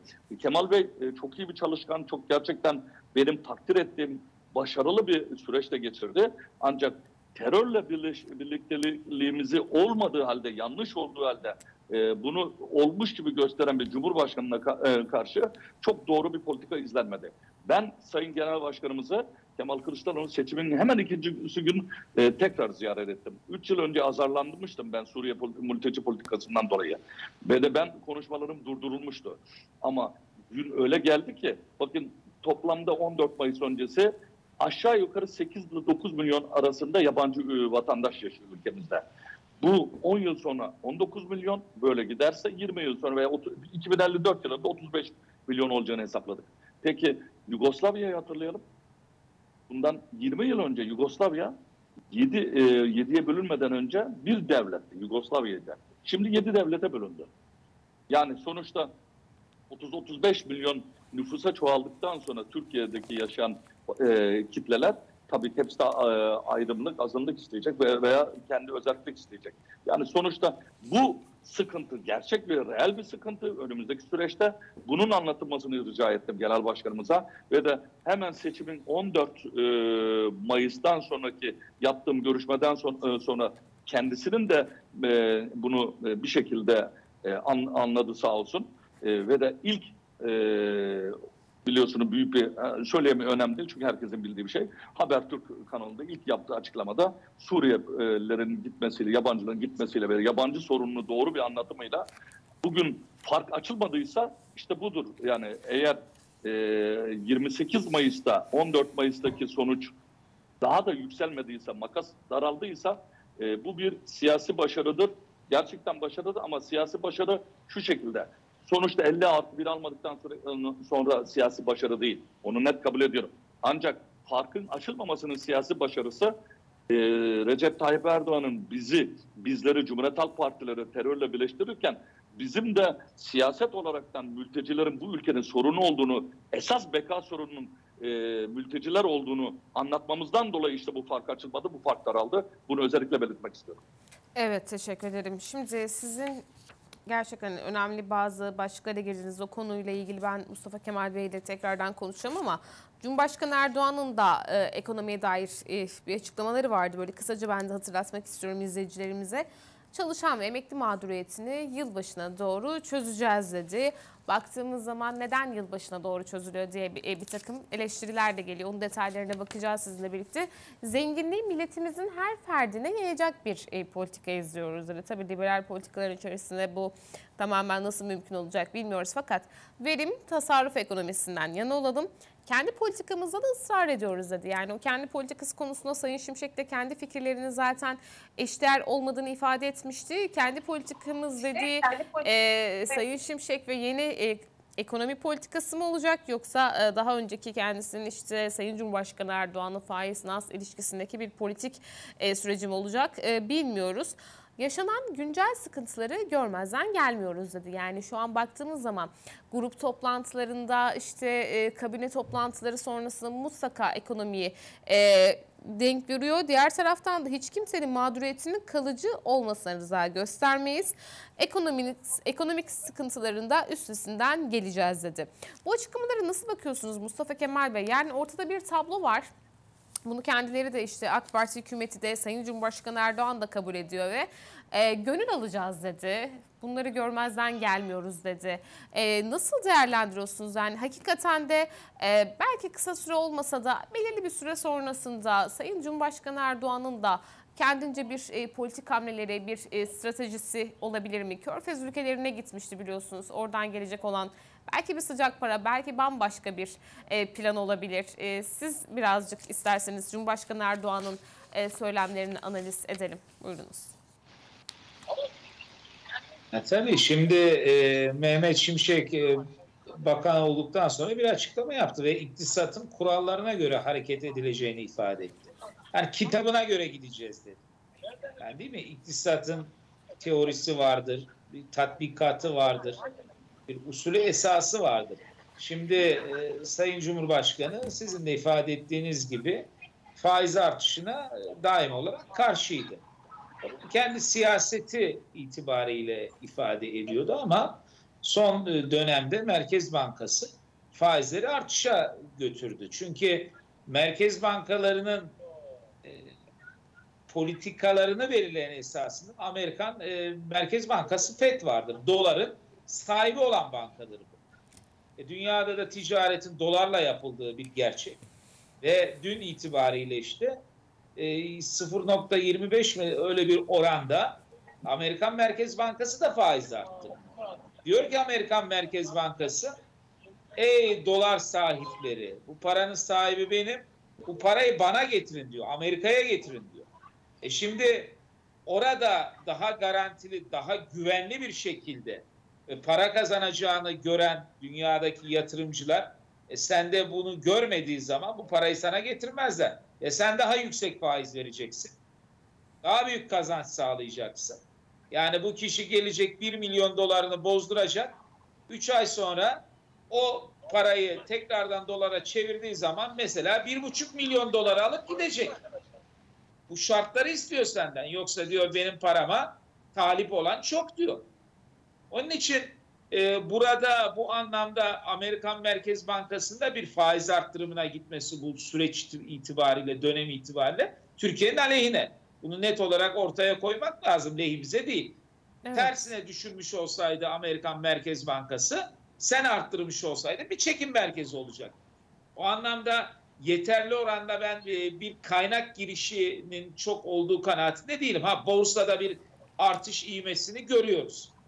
E, bu da kısmi olarak işte Arap ülkelerinden gelen meblağlar mıdır? İşte başkaca yurt dışında parası olanların e, bir şekilde bunları ekonomiye sokma çabası mıdır? Onu bilemiyorum. Bunda herhalde ekonomistler daha iyi bir şekilde yorumlayacaktır diye düşünüyorum Nisa Hanım. Ama Evet. şunu ortaya koymak lazım. Bugün e, Türkiye'nin e, dünyada şu anda e, akaryakıt konusu en önemli konu olduğu için söylüyorum. Çünkü bütün sektörleri birinci dereceden ilgilendirdiği için söylüyorum. Ya içtiğiniz çaydan tutun gideceğiniz tatile kadar her şeyi birinci derecede etkiliyor.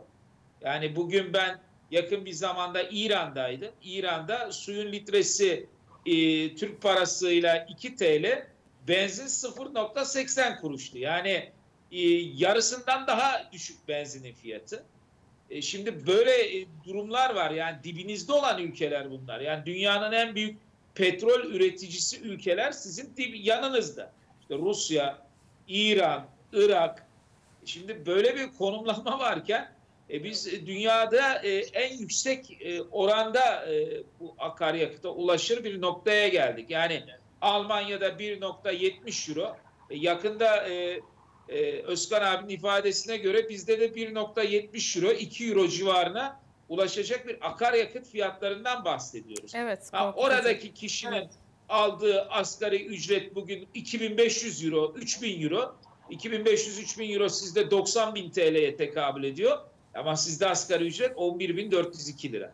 Yani satın alma gücü, satın alma paritesi burada devreye giriyor. Çünkü bazıları diyor ki e, Avrupa'da da akaryakıtın fiyatı bu, Türkiye daha ucuz diyor ama oradaki gelir durumuyla buradaki gelir durumunu e, karşılaştırma gereği duymuyorlar. Yani şunu e, söylüyorum yani baştan bu yana söylediğim o. Ben bunu hep ifade ediyorum. Tasarruf, tasarruf, tasarruf. Sayın Cumhurbaşkanı da bunu söylüyor artık. Ama bunu bizim devlette görmemiz lazım. Kamuda görmemiz lazım. Bürokraside görmemiz lazım. Çünkü bürokrasi bunu tatbik etmedikten sonra, kamu bunu uygulamadıktan sonra bunun hiç, hiçbir anlamı yok ki. Yani işte 115 bin, geçen yıl 2022 rakamlarıyla 115 bin kamuda araba vardı. Bugün bu ne oldu? Ya siz araba olarak değerlendirmeyin bunu. Bunun şoförü var. Bunun akaryakıtı var. Bunun sigortası var. Bunun tekeri, lastiği, şunu bunu var. Hepsini üst üste koyduğunuz zaman devasa bir rakam oluyor bu. Netice itibariyle Türkiye ekonomide e, sıkıntılı bir süreçte. E, söylenen bir durumda şu işte biz doğalgazı biliyorsunuz Rusya'dan tedarik ediyoruz. İşte bu yıl e, bu doğalgaz e, ödemelerinin de ötelendiği yönünde ifadeler var. Bu devletten, kamudan şu anda ortaya konmadı ama bunu söyleyenler o şekilde ifade ediyor. E, ak, bu doğalgaz ödemeleri de ertelendi. Rusya'ya biz yani yıllık Türkiye'mizin e, enerjiye verdiği para işte petroldü, gazdı, e, likit e, gazdı vesaire 100 milyar doların üzerinde Nisan'ın. Çok büyük bir me- meblağ. Evet. Yani siz bu parayla aynı zamanda ekonomiyi de döndürüyorsunuz. Çünkü enerji olmadan ekonomi e, üretimi de yapabilmeniz mümkün değil. Böyle bir noktaya gidiliyor. E şimdi e, Cumhuriyet'in getirdiği kurum ve kuruluşların çok büyük bir kısmında zaten özelleştirildi. Elde de bir şey kalmadı baktığınız zaman. E, işte siz varlık fonu olarak bir şeyler ortaya koydunuz. İşte hatta bu Sayın Cumhurbaşkanı'nın e, Körfez ziyaretinde de ifade edildi. Şunlar bunlar verilecek mi edilecek mi diye. Ama resmi bir şey de ortaya konmadı. E, netice itibariyle e, şunu artık ortaya koyalım. Şimdi EYT ile alakalı bir karar alındı. İşte emeklilik süreci başladı. E, 99'da bunun siz sigortalığa girdiğiniz zaman sonuç itibariyle koşullarını bilerek giriyorsunuz. O koşul, koşulların size tatbik edilmesi lazım. E tamam genç emekliler oldu 42-43 yaşında emekliler oldu ama o şartlarda bu insanlar sigorta sürelerini karşılamışlar ve primlerini ödemişler. 99'da alınan işte Yaşar Okaya'nın Çalışma Bakanı olduğu dönemde alınan bir kararla yaştan dolayı bu ileri çekildi. 20 yıl sonra bu da devreye sokuldu. Depremden sonra olmasına rağmen şimdi ben sosyal medyada görüyorum tartışmalar var. İşte bu emeklilik kararında yanlış olduğunu, işte devletin neredeyse 15 milyon, işte bu rakamın 20 milyona çıkacağı söyleniyor. 20 milyon emekliye ödeme yaptığı, 5 milyon kamu görevlisi memurun olduğu, bu yükün çok arttığı söyleniyor. Ama bunlarda kazanılmış hak yani bunlarda ne kadar dönüşüm yapacaksınız? E, verilen bir mücadele neticesinde bu alınmıştır. Devletin kaynak üretmesi lazım. İşte e, petrol bulduğumuz ifade ediliyor Gabar'da. Çok mutlu bir haber yani ülkemizden petrolün çıkması bu anlamda kendi kendimize yetebilir bir ülke olmamız. İşte Karadeniz'de doğalgaz, bu doğalgazın ekonomiye kazandırılması, bu ekonomi faturası, e, e, enerji faturasının aşağı çekilmesi çok önemli. Ama şu anda e, söyleyecek olursak Türkiye'nin yurt dışına giden paralarının getirilmesi ve tasarrufu çok ciddi bir biçimde uygulaması gerekiyor. Bunun dışında dolar basacak halimiz yok. Veyahut da e, başka bir şekilde bunu çevirecek halimiz yok. E, birinci elden tasarruf, ikinci elden üretim, üçüncü elden de işte kimler tarafından kamuoyu bunları biliyor, ifade ediyor. Yurt dışına kaçırılan o kıymetlerin, bu milletin parasının, pulunun bir şekilde ekonomiye dönüştürülmesi. E, bu sağlanabilir mi derseniz o şıkkı ben e, pek e, mümkün de görmüyorum. Maalesef böyle bir tablo içerisindeyiz. Yani ülkeyi yöneten iktidarın bu anlamda işi zor. E, çünkü Mayıs'taki seçimde işte güvenlik e, noktasında değerlendirmeler yapılarak muhalefetin de bu güvenlik noktasındaki değerlendirmelerin tam aksine hareket ederek bir duruma girmesi, işte HDP ile münasebetlerin olması, işte AK Parti'nin attığı partilerle e, bir dayanışmaya girme e, durumunda olması. Ben şunu söyleyeyim. Bu seçimlere e, Cumhuriyet Halk Partisi ile İyi Partisi ikisi beraber hareket ederek girmiş olsaydı çok çok daha müsbet bir netice alınırdı. Bu seçimdeki netice şu. 50 artı 1 almaktır Nisa Hanım. Ya kazanacaksınız ya kaybedeceksiniz. Muhalefet kaybetti. Bunun evet. aksini söylemek mümkün değil. Muharrem İnce'nin dediği çok doğruydu. Bu seçime biz CHP, İyi Parti, Memleket Partisi olarak girelim. Gelin bunu yapalım. Bu e, imkanı kaçırmayalım, fırsatı kaçırmayalım. Bırakın o e, Türkiye'nin 20 yılında sorumluluğu olan Ali Babacan'ı, Temel Karamollaoğlu'nu, Ahmet Davutoğlu'nu bırakın. Bunlarla yürümeyin.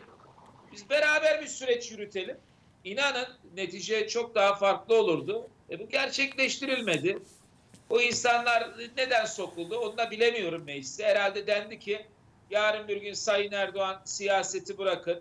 Başkaca bir nedenle başka bir durum olur. Herhalde AK Parti'de bir sıkıntı olursa alternatifleri bunlar olsun.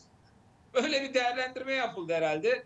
Ama Türk milleti de buna itibar etmiyor. Ama Türk milleti çok iyi değerlendiriyor, çok iyi görüyor, tespitini çok iyi yapıyor. İnanın e, muhalefet burada Atatürk'ün politikalarını, iktisat politikalarını, Atatürk'ün ortaya koyduğu felsefeyi çok somut olarak anlatmış olsaydı, o yoldan yürümüş olsaydı çok farklı bir netice olurdu. Ama bu fırsat kaçırıldı. Şu anda da işte biraz önce söylediğim noktada değerlendirmem oydu. İşte bu ekonominin gidişatı, Türk milleti sonuç itibariyle cebine girene bakar, mutfağındaki yangına bakar. Ha bunun istisnası evet. bir önceki seçimde bunu atladı, bakmadı, güvenliği daha ön boyutta tuttu. Bu da muhalefetin beceriksizliğinden kaynaklandı. Bunu da net olarak söyleyelim. Ama bu e, seçimden sonra başlayan bu vergi artışları, zamların artık kontrol edilemez noktada gidişatı itibariyle e, yerel seçimlerde farklı bir davranış sergileyebilir. Ya gidip tercihini ikisinden iki ne milletten ne cumhurdan kullanır. O sandığa gitmez. Veyahut da giderse muhalefetin bu dağınıklığına rağmen muhalefetten yana tercihini belirtirse e, bunun sonucunda farklı bir tablo çıkarsa bu sefer muhalefet erken seçim e, istemlerini de kendisi için haklı olarak o isteyecektir. Ben yerel seçimde başarılı oldum, netice aldım dedikten sonra herhalde dört gün sonra e, seçim yapılmasını istemeyecektir. Bir baskı kuracaktır. Farklı tablolar ortaya çıkabilir. İşte e, herhalde Cumhuriyet Halk Partisi'nde bu gidişatın bir nedeni de o. Çünkü 2018'de de aynısı oldu. Muharrem İnce 30.6 oy aldı. Parti 22'de kaldı. Muharrem İnce beni genel başkan yapın siz onursal genel başkan olun dedi Sayın Kılıçdaroğlu'na. Ama Kılıçdaroğlu bırakmadı. O zaman koltuk sahibi olan işte bu Zoom toplantısında olan isimlerin hiçbiri e, Muharrem İnce'nin yanında yer almadı. Şimdi koltuk gittikten sonra hepsi Muharrem, e, Ekrem İmamoğlu'nun yanında yer alıyor. Bir de 5 yıl önceki tablo var. E, Muharrem İnce'nin o 30'un üstüne çıkmasını belediyelerde kendilerine avantaj sağlayacağını gördüğü için parti yönetimi kurultayın yapılmasını da e, salık vermedi. Kurultay da yapılmadı ki o, o sürecin içerisinde bilen bir kardeşimizin o kurultayın toplanması için yeterli imza sayısı mevcuttu. Yapılmadı ama bir şekilde delegeler e, imzalarını geri çekti vesaire. E, belediyeler alındı fazladan. E, bu süreçte de gidişat itibariyle, ekonomik gidişat itibariyle böyle bir tablonun olacağını öngörebiliyor belki şu anki CHP'nin yönetiminde veya İyi Parti'nin yönetiminde olanlar. Onun için kimse koltuğunu bırakmayacaktır. Yerel seçimler sonuna kadar bu e, yolda gideceği gibi görünüyoruz Nisa. Evet, e, teşekkür ederim. Şimdi Özkan Bey o zaman e, size soracağım yani şimdi vatandaş baktığımız zaman her şeye rağmen Erdoğan dedi. Her şeye rağmen diyoruz. Çünkü evet belirli sıkıntılar olduğunu zaten onları onlar da kendileri de kabul ettikleri için bu ifadeyi bence gazeteciler de kullanabilir. Fakat e, siz az önce bahsetmiştiniz işte nitekim işte yurt dışı oyları, e, mülteci göçmenlerin oy oranı olarak e, bunları da hesaba katarsak e, sizin dediğiniz gibi bir tabloyla da yola çıkarsak yine e, baktığımız zaman oy oranları düşük değil. Yani vatandaştan Cumhurbaşkanı Erdoğan'ın, AK Parti'nin, Cumhur İttifakı'nın bu kadar güven oyu almasının sebebini merak ediyorum. Yani bu da sosyal devlet anlayışından kaynaklanan bir durum mu? Yani 2001'deki gibi değil. Ee, bir şekilde sistem yürüyor mu? Yani emekli az da olsa parasını alıyor. Evet orta gelir şu an e, erime noktasına doğru gidiyor. Tabii şu an ekonomik sıkıntıyı sadece Türkiye'ye yormak da e, biraz haksızlık o, olabilir. Bu anlamda küresel bir problem haline geldi ama e, bunun e, sebebi ne? Yani sizin dediğiniz e, matematiksel olarak e, orana baktığımızda evet mülteci oylarını e, çıkartsak bile oy oranları az değil. E, bu güven oyu almasının e, mutlak bir nedeni olması lazım yani sosyolojik ve psikolojik olarak. Evet. E, Nisan gerçekten güzel değerlendirdiniz. Teşekkür ederim. Şimdi e, Evet. doğru mülteci oylarını ve de yurt dışından gelen farkı kaldırdığımızda yüzde 50'ye geliyor. Yani kafa kafaya geliyor. Yani her iki kişiden bir kişinin hala e, Recep Tayyip Erdoğan bu e, Evet. e, şartlarda da olsa oyunu aldı diyorsun. Katılıyorum. Doğru söylüyorsunuz. Peki e, ne var? 21 yıllık bir e, örülmüş bir ağ sistemi var. Bakın ee, ben 3 dönem görev, 3 dönem milletvekili yapan bir kişi olaraktan gitmedim. 81 ilde gitmedim. Bir il yok. Birçok illere de gittim. Ee, özellikle İç Anadolu'da ve birçok ilde, 81 ilde, 970 ilçede kaç tane kişinin devletten destek aldığını biz çok iyi biliyoruz. Yani bu yaşlı aile olsun, e, dul yetim aile olsun, engelli e, aile olsun, evde bakılmaya muhtaç olan çocuğu, e, annesi, babası veya kardeşi neyse her türlü yardım alan.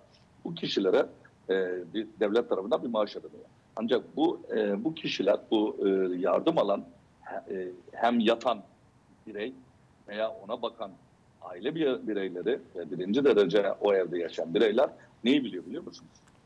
Bu parayı AK Parti veya Recep Tayyip Erdoğan tarafından gönderildiğini biliyor. Ve de bunun yüzde doksanını bu şekilde ikna etmeye çalışsak bile başaramadık. Başaramıyoruz. Açık ve net bu itiraf bakın hani net söylüyorum. Ya da Evet. neden başaramadığımızı söyleyelim. Neden başaramadığımızı söyleyelim. Çünkü bütün bütün evlere girmemiz imkansız. Ama öyle bir algı yaratılıyor ki bu ekran, TV ekranları vesaire e, sanki bu rakamları Recep Tayyip Erdoğan tarafından, AK Parti tarafından gönderiliyor. E, bunun yanında tabii ki e, devletin kurumları yani Aile ve Sosyal Politikalar Bakanlığı'na bağlı her, her ildeki e, bürokratlarımız ve de bunlarla birlikte giden AK Parti il ilçe teşkilatları, kadın ve gençlik kolları ve de il ilçe yöneticileri bu işi çok iyi yaptılar, yapıyorlar. Yani biz o evlere giremezken veya giriyorsak bile anlatır, anlattığımızda başarıya ulaşmamız neredeyse deveye hendekten atlatmak kadar zor iken onlar hem devletin imkanlarıyla, bürokratlarla giriyorlar. Ee, va- yani bütün valileri zan altında almayacağım. Ama birçok vali, birçok e, kaymakam artık hükümetin, merkez hükümetin valisi veya kaymakamı veya bürokratı. Yani sonuçta e, bu şekilde giriyorlar. İşte bu en büyük unsurlardan bir tanesi yardım alan e, birçok dalda yardım alan vatandaşlarımızın oy kitlesi. Bu 7,5 milyon oya direkt tabi- takip ettiğini net rakam size veriyorum. Bu 100 bin aşağıdır, 100 bin yukarıdır ama 7,5 milyon civarında olduğunu biz hesapladık. E, bunun yanında biliyorsunuz e, çok iyi bir sistem e, yönetiyor Recep Tayyip Erdoğan. Hem e, Beşli Çete dediğimiz ve de buna bağlı e, organları e, bu ihale çetesi bütün e, biraz önce Mustafa kardeşimin dediği gibi o köprülerin o havaalanının yapılmasına e, bir Zafer Havalimanı Zafer Havalimanı hariç bir tek o gereksiz. Diğer havalimanlarının veya o köprülerin yapılmasına veya hastanenin yapılması yanlış değil doğru ama yapılan ihale veya şartnameleri yanlış. İşte bunlara ve- verilen rakamlar, bunların Yani çalıştırdığı kitler, bunlardaki kısmı evet buyurunuz. E, bunlardaki bunlara bağlı olan binlerce işçi, işçi kardeşimiz, e, yardım alan vatandaşlar, askeriye, polis, e, Sağlık Bakanlığı vesaire bakanlıkları. Ya bakın, bakın e, 16 tane bakanlık e, seçim öncesi hepsi milletvekili adayı oldu. Hepsi de hem bakanlık olduğunu, hem bakanlık forsunu, bakanlık araçlarını, bakanlık personelini, bakanlık gücüyle birlikte e, bütün illerde çalıştılar. E, aynı şekilde e, Cumhurbaşkanı her gittiği yere yaklaşık kaç tane araç önceden gidiyor, kaç tane seçim otobüsü gidiyor. Evet. Yani sonuçta bütün devlet imkanlarıyla 21 yıllık e, kurulmuş e, olan büyük bir ağla yani bir e, ilin en büyük mülkiye amiri, valisinden ilçedeki mülkiye amirine ne kadar her türlü e, bürokratını çok iyi çalıştıran bir merkezi sisteme karşı çalışmak, yarışmak gerçekten e, kolay değil, zor. Ama öyleyken %50-50'ye geldi diyorum. Peki başarı mı? Özkan Bey şunu da merak başarı ediyorum. değil. Bütün Yani bunların da kesinlikle dışında bunu öde, evet Hanım şunu özellikle belirteyim. Bu başarı değil bak onu da özellikle belirteyim. Bu başarı falan diye yanılmasın. Başarı kazanıldığı zaman başarı. 50 artı 1'i almadıktan sonra başarı değil. Evet yani bütün bunların da dışında hani bir siyasal iletişim olarak baktığımız zaman Sayın Cumhurbaşkanı Erdoğan'ı destekleyen kitlenin hani hakikaten yani evet çok öfkeliyiz. Ekonomi bu noktada işte bambaşka meseleler, e, göçmen hadisesi, belki yargı, hukuk birçok e, meseleyi e, dahil edebiliriz ama e, bunu lütfen hani kıyas e, maksatlı söylemek istemiyorum ama kıyas da edilebilir sonuç olarak. Diğer taraftaki rakibi Cumhurbaşkanı adayı olan Sayın Kılıçdaroğlu'ydu. E, Sayın Erdoğan'ın e, kitlesi de bambaşka. Yani e, bu bahsettiğim birazcık psikolojik bir boyut. Psikolojik bir sevgiden bahsediyoruz. Yani anladığım kadarıyla e, gönül almayı ya da işte gönül e, kazanmayı size göre belki bir e, manipülasyondur. Diğer taraftan e, gerçekten de sevilen bir e, lider pozisyonu da var gibi gözüküyor Özkan Bey. Yani 21 yıllık iktidarlık e, sonucundan bu seçenek de çıkabiliyor. Ee, dediğinize katılıyorum. Şimdi bakın e, Genel Başkanımız Sayın Kemal Kılıçdaroğlu çalışkan bir kişi ama Evet. tabandan gelen bir siya, tabandan gelen bir siyasetçi değil. E, Recep Tayyip Erdoğan e, o da bir çalışkan bir kişi. Her anlamda çok iyi çalışıyor. Yani e, birçok kişinin her işi yani verilecek olan e, bir e, ildeki her türlü e, atanacak olan bürokratına kadar e, bir tek vali kaymakam demiyorum. E, Yani e, çok Rektör, önemli e, ta- taşımayan hepsi. Evet. e, bürokratların e, ne diyeyim e, atanmasına kadar bir ildeki açılacak olan bir e, mermer ocağının ruhsatına kadar her türlü anlamda e, yetkiye sahip olan daha doğrusu o işlerin e, hakim olan karışan o işleri yöneten bir kişi tabii ki halkla birlikte de diyaloğu var açık ve net söylüyorum. Halkın istediği dili de çok iyi lanse ediyor, konuşuyor. Bunu prompterda yazdırıyor veya danışmanları çok iyi yazdırıyor. E, ama bir şekilde bunu lanse ediyor. Halka bunu veriyor. Ama bunun sebebi e, İstanbul'daki yetiştiği e, il, ilçeden il, e, il başkanlığına, belediye başkanlığından e, başbakanlığa gelen süreç. Yani sonuçta tabandan itibaren gelmesi, genel başkanımızın bürokrat olaraktan gelmesi, yani biraz önce dediğim gibi yüzde 60'ın üzerindeki yüzde 60'a kadar dayanan bir kitlenin hala bu memlekette ortaokul mezunu olmasının o iletişim, e, genel başkanımızla iletişim kopukluğu az olduğunu belirtmek istiyorum. Recep Tayyip Erdoğan'ın ise o kitleyle çok daha kolay Evet. girdiğini anlatmak istedim. Evet, burası önemli bir detaydı. Şimdi e, ben bu konuya dair e, bazı sorular aslında Mustafa Kemal Nis- Bey de... Nisan Hanım şu, şurada şunu da an- e, açıklamak istiyorum. Ba- bakın e, anlatmak istiyorum. E, Kemal Bey e, Genel Başkanımız e, bürokrat olarak gelmiştir. Çalışıyor. Evet. Gerçekten de çalışkan. Ancak e, yardımcıları yani yardımcıları derken MYK'dan bahsetmiyorum. Danışman olaraktan gelen arkadaşlarımızın e, sadece bürokrat veya üst düzey e, büyükelçi veya asker veya e, hukukçu olmaları yetmiyor.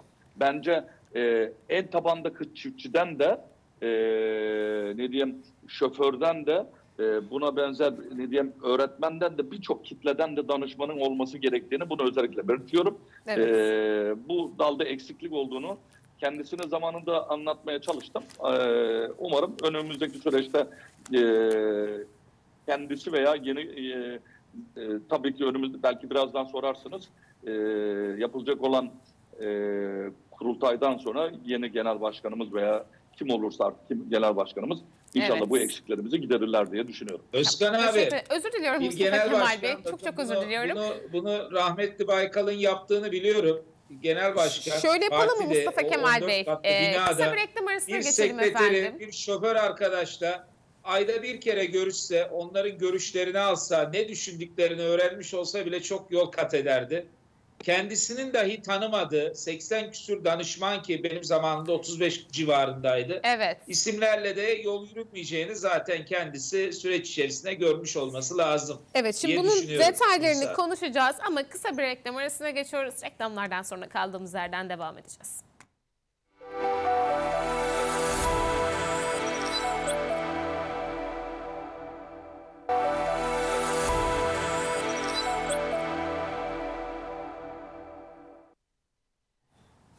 Evet değerli izleyenler BBN gündem kaldığı yerden devam ediyor. Şimdi Mustafa Kemal Çiçek birazdan bağlanacak. Özkan Bey e, ben sizinle de o zaman bir e, devam etmek istiyorum.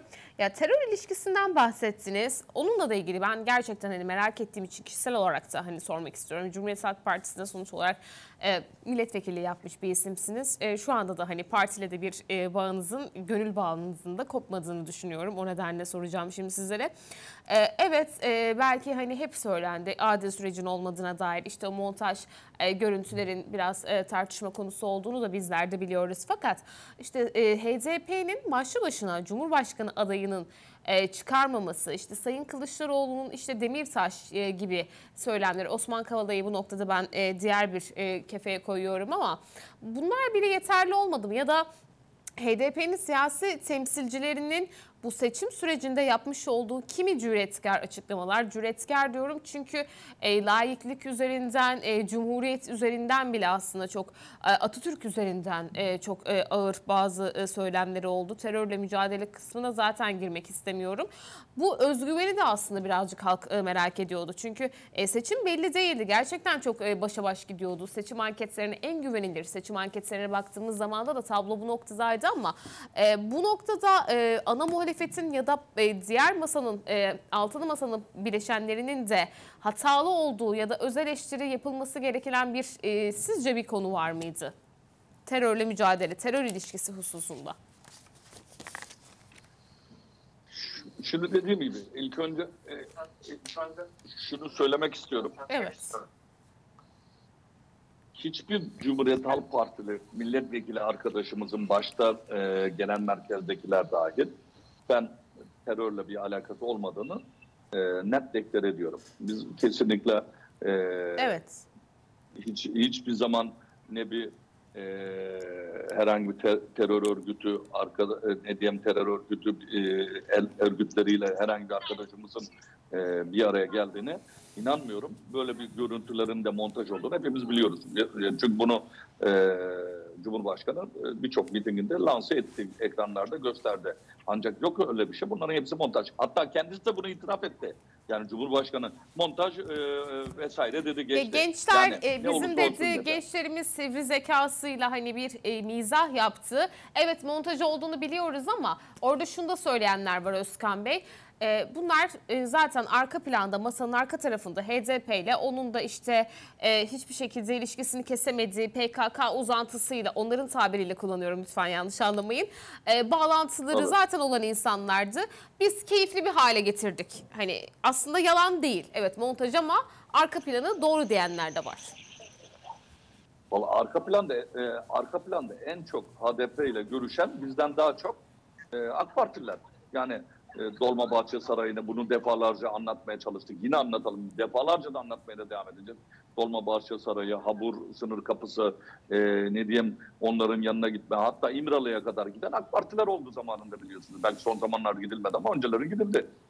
Yani sonuçta e, esas e, onlarla bir araya gelip e, bu uyum e, çözüm süreci vesaire bilmem ne. Ya onlar görüştüklerinde çözüm süreci veya bu ülkenin güya iyiliği için oluyor. Ama biz hiç görüşmediğimiz halde e, onlarla birlikte yürüyen bir terör örgütü bileşenler o, e, haline getirilmeye çalışan bir algı yöntemi e, oluşturulup sürülüyor piyasaya.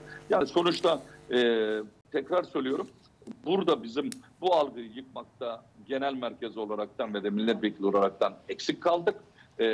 Tabii ki başta genel başkanımız eksik kaldı ama tekrar söylüyorum e, bunun başarısının sebebi de e, 21 yıllık iktidar ve de basın gücü yani medya e, gücüyle bu işi başarabildi Recep Tayyip Erdoğan.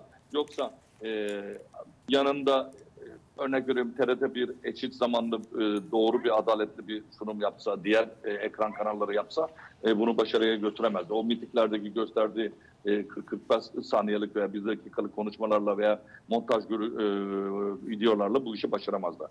Ana e, bu işi başaracak olan, başaran kitle e, medya kitlesi oldu. Çünkü e, Uşak'ın köyünde, Tekirdağ köyünde, Van'ın köyünde, ne diyeyim, e, Yozgat'ın köyündeki Mehmet amca, e, e, Ahmet amca, Ayşe Fatma teyze akşamleyin e, onların deyimiyle ajansı dinlemeye başladım, haberleri dinlemeye başladı mı orada o ekranlar ne diyorsa ona inanıyorlar. O ona inanan bir kitle var.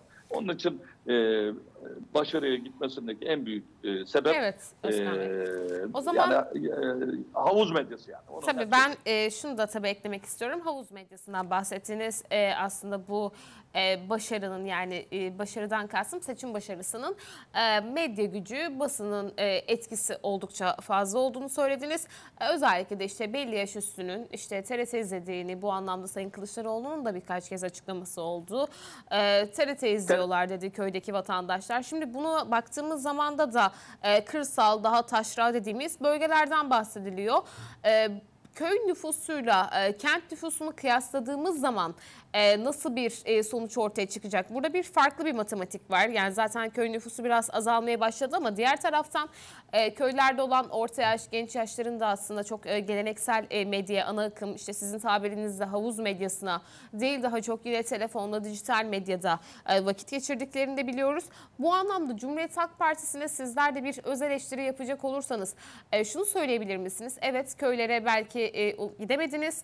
E, Onların ellerinde TV vardı ve halk e, manipüle olduğu bir e, kara propaganda süreci yürütüldü. E, fakat Cumhuriyet Halk Partisi köylere, kasabalara sonuç olarak çok köklü bir partisiniz ve e, 100 yıllık bir partisiniz artık diyeceğimiz bir noktaya geldiniz.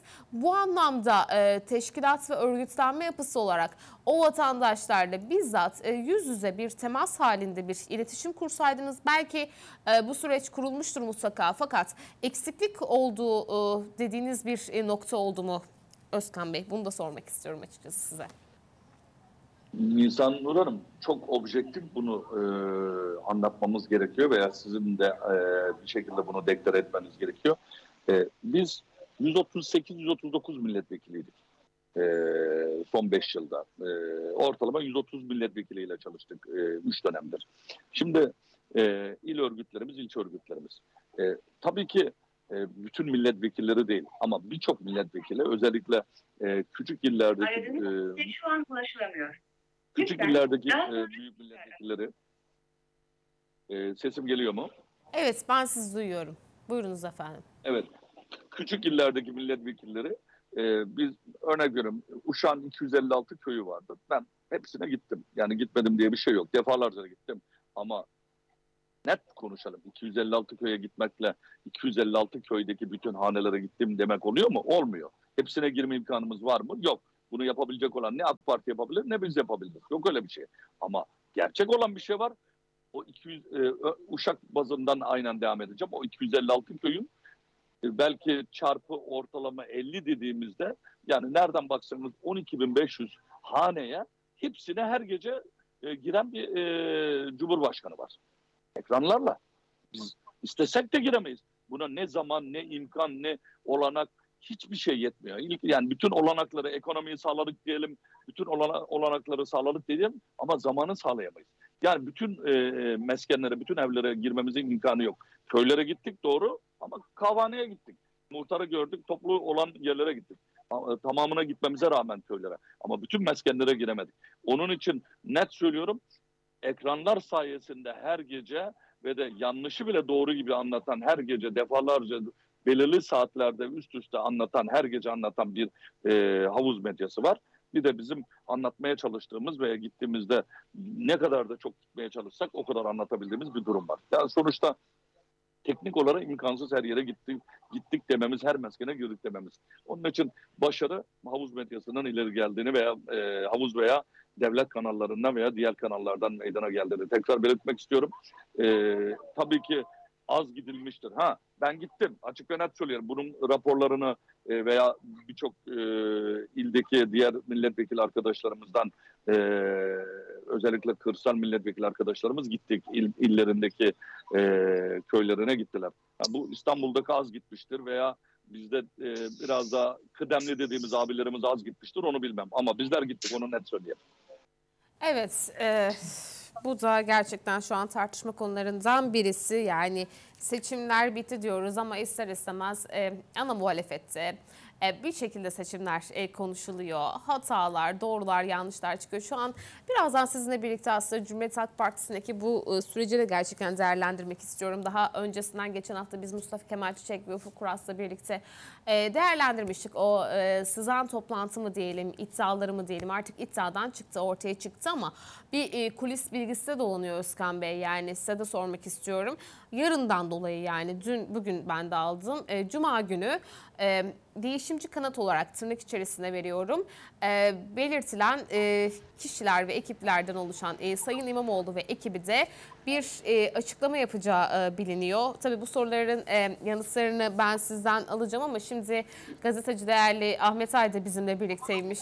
Ahmet Bey'le bir e, kısa bir başlangıç yapmak istiyorum. Ahmet Bey hoş geldiniz yayınımıza. Hoş bulduk. İyi yayınlar, iyi akşamlar. İyi akşamlar Ahmet Bey dışarıdasınız galiba. E, köyde miydiniz en son? Evet, köydeyim, hala köydeyim. Evet Serin, güzel. temiz. e, evet. En azından e, sessiz bir ortam olduğu için e, bizim için hiçbir mahsuru yok. Işığınız da gayet düzgün gözüküyor. Şimdi biz en son e, seçim sürecini ister istemez konuştuk. Hani dedik ki bu ekonomik e, durumlar, bu ekonomik sıkıntılar, bu darboğaz e, nereye doğru gidiyor ama Mustafa Kemal Bey de dedi iktidarın yani mevcut yönetimin hataları olduğu kadar burada dedi. E, muhalefetin de hataları var. E, bizler de sorduk. Özkan Bey'le de değerlendirmelerimizi yaptık. E, muhalefetteki sıkıntılara da baktığımız zaman yani şöyle bir tablo olabilir mi? Mustafa Kemal Bey'in e, söylediği bir ifadeden ben de yola çıkarak size sormak istiyorum. Muhalefet içerisinde evet ekonomi daha da kötü bir noktaya gitsin. E, zaten halk da birazcık bu anlamda dersini alsın bunların ekonomiyi yönetemeyeceğini anladıktan sonra da yerel seçimlere gidiyoruz. Yerel seçimlerde de yine bir aynı şekilde e, puanlarını kırsın ve sonrasında belki erken seçime gidilebilir. Düşüncesinde olanlar var mı? Bunları bazılarını duyduk biz. Aleni olarak e, dile getirenler de vardır ama size sormak istiyorum. Böyle bir tablo gerçekleşebilir mi? Evet, e, öncelikle muhalefetin e, görevi e, iktidarın başarısız olması, ülkede yönetimin e, kötü olması, ülkenin kötü yönetilmesi ve bunun üzerinden kendi partilerin oylarının arttırılmasını düşünmek hem e, vatanseverliğe yakışmaz hem de e, ahlaki değil, etik değil. Bir siyasi parti, bir muhalefet partisi kendi projeleriyle, kendi programlarıyla, kendi söylemleriyle, kendi projeksiyonlarıyla vatandaşın gönlüne girecek, vatandaşı ikna edecek ve oyunu bu şekilde artırmayı e, öncelemeli, esas almalı. Yoksa ellerini ovuşturup işler kötüye gidiyor, biraz daha kötüye gidecekler, e, oy kaybetsin, biz gelelim. Bu bir siyaset tarzı bu bir bu sağlıklı bir siyaset tarzı değil. Maalesef Cumhuriyet Halk Partisi yıllardır bu siyasetiyle, bu nakıs siyasetiyle e, iktidarın başarısı üzerinden kendi partisi oylarını arttırmaya yönelik tırnak içinde tembel bir politika izlemekle bugüne kadar tek başına iktidar olamayan bir parti. Bakın 100. yılındaki bir Cumhuriyet Halk Partisi'nden bahsediyoruz. Tek partili yönetim dışında tek başına iktidar olamamış bir Cumhuriyet Halk Partisi'nden bahsediyoruz. Cumhuriyet Halk Partisi'nin bu söylemini, bu niyetini, bu amacını artık ülkenin gerçekleriyle, dünyanın gerçekleriyle bağlaşık bir şekilde değiştirmesi gerektiği diye düşünüyorum. Yoksa iktidar partisi kaybetmişse kendi oylarını art, artırmış. E hayır değil. Dünyanın herhangi bir ülkesinde 6 Şubat depremi yaşanmış olsaydı o ülkede iktidar ayakta kalamazdı. Kalsa bile ilk seçimde giderdi. Ama Türkiye'de muhalefete güvenmeyen, bilhassa ana muhalefet partisine güvenmeyen, ana muhalefet partisinin başını çektiği masaya güvenmeyen ülkenin vatandaşları gidip bu enkazın altından zor çıkabilecek olan bir parti tekrar iktidar e, yaptı. Bu Cumhurbaşkanlığı tekrar e, %52 ile geçti. Dolayısıyla Cumhuriyet Halk Partisi bu siyaset tarzı, bu tarzını değiştirmeli, kendisini değiştirmeli. Genel başkan değiştirerek, genel başkan yardımcılarını değiştirerek herhangi bir şeye ulaşamayacağını artık Cumhuriyet Halk Partisi anlamalı. Ne zaman anlayacak onu merak ediyorum. Yoksa ekonomi daha kötüye gidecek. Mali seçimlerde yani e, inanın böyle bir siyaset olmamalı. Evet teşekkür ederim Mustafa Kemal Bey. O zaman şimdi Nisan Nisan Nisan Hanım Hanım, ben bir araya girmek istiyorum burada. tabii Ee, ben e, özür dilerim şunu sormak istiyorum. E, çünkü siz de söylediniz bunu. E, hangi e, Cumhuriyet Halk Partisi'nin hangi siyasi e, organlardan açıklama yapıldı? E, AK Parti'nin e, yani ekonomi kötüye gittiği zaman AK Parti e, yerel seçimlerde daha kötüye gidecektir. Böyle bir açıklamayı yapan hangi siyasetçi oldu bunu? Çünkü ben e, henüz bunu de, e, teyit etmiş değilim. Bundan dolayı sizden sormak istedim özellikle.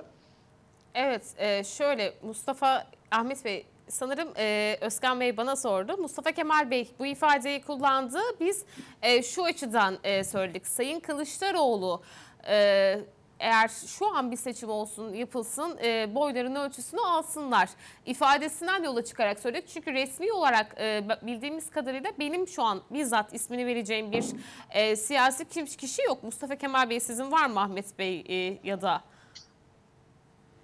Ya bunu Çünkü- bunu şu şu açıdan şu Bu açıdan şey, değerlendirdik. evet. Yani burada e, Sayın Sayın Kılıçdaroğlu işte biliyorsunuz o gün bir erken seçim noktasında değerlendirme Evet. yaptı. Derhal yapılsın gibi seçimlerin anayasada nasıl yapılacağı bellidir. Sonuç itibariyle bir seçim yapılmış. Üzerinden daha 40 günü bile geçmemişken bu açıklama biraz gayri ciddi düştü.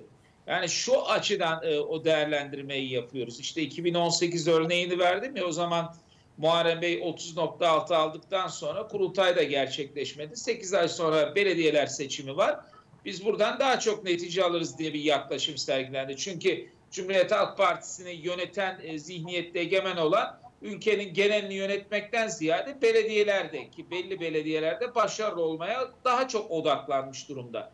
Burada şu değerlendirmeler yapılıyor. Bunu bir siyasi yaptığını söylemiyoruz. Yani genelde medya boyutuyla yapılan değerlendirme. E, Evet. Kemal Bey'in işte kurultaya gitmeme süreci, belediyeler seçimi sonrası ertelenme. Şimdi gerçi olağan kurultay süreci başladı. Burada gidişat Kemal Bey'in lehine olursa işte Ekim sonu Kasım başı genel kurultayın 38. kurultayın yapılacağı da söyleniyor ama AK Parti'nin özellikle bu artış, fiyat artışı seçimlerden sonra başlayan ben de onu özellikle ifade ettim. Depremin yansımalarını daha e, net olarak görmeye başladık diye millete bunu çok iyi bir şekilde anlatamazsa burada muhalefetin eline ciddi bir koz geçmiş olur. İşte biz ekonomiyi anlattık, görmediniz, değerlendirmediniz, yine iktidar partisine oy verdiniz ama yerel seçimlerde vatandaşa bunun yansıması daha sert olursa AK Parti de bunu anlatamaz ve o döneme kadar buna ilişkin tedbirleri ciddi bir şekilde almamış olursa bu Cumhuriyet Halk Partisi'nin içinde bulunduğu tablo, İyi Parti'nin içinde bulunduğu tabloya rağmen yerel seçimlerde daha farklı sonuçlar ortaya çıkabilir. Bunun neticesinde de iktidarı sıkıştırmak adına yerel seçimlerde halk bize teveccüh gösterdi demek suretiyle erken seçim istemleri ortaya konulabilir yönünde bir değerlendirme yapmıştı. Bu söyleniyor, ifade ediliyor. Sessiz şekilde Evet. e, e, e, ortaya konuyor. Bu daha aleniyete kavuşur noktasında bir değerlendirmeydi bizimki. Mustafa Bey, e, Nisa Hanım söz alabilir mi? Lütfen buyurunuz. E, Mustafa Bey yalnız e, Erdem, Nisa'nın da o Nisa, Nisa'nın da orada kontrafeye düşüyor. Sanki herhangi bir milletvekili arkadaşımızın veya üst düzey e, genel merkezden e, bir açıklama yapılmış gibi böyle bir şey lanse edildi. Öyle bir açıklama yapılmaz zaten Yok. Özkan abi. Öyle bir açıklamayı Tamam. Hayır dolaylı yani. yoldan saniye. özür diliyorum saniye. Özkan Bey doğrudan değil ama dolaylı saniye. yoldan gazeteciler tarafından e, ben buna benzer bir açıklamayı gördüm. Hani bizzat bir açıklama değil işte Ben- Can Ataklı Bey'in olabilir ben- o yüzden teyit ediyorum. Şimdi e, Nisa Hanım, bakın ben e, Ahmet Bey'in e, girişteki konuşmasına yüzde yüz katılıyorum. Ben Cumhuriyet Halk Partiliyim. Cumhuriyet Halk Partisi'nde üç dönem görev yaptım. Hiçbir zaman Evet. e, bir hükümet veya bir, bir yönetim başarısız olacak da insanlar, e, vatandaşımız daha kötüye gidecek de biz de buradan ne bağlanacağız diye böyle bir düşünceye sahip olan bir partinin temsilcisi değilim. Biz bu işi daha iyi yaparız, daha iyi beceririz ve de daha iyi bu ülkeyi yönetiriz e, düşüncesiyle yola çıktık ve de o yolda devam ediyoruz.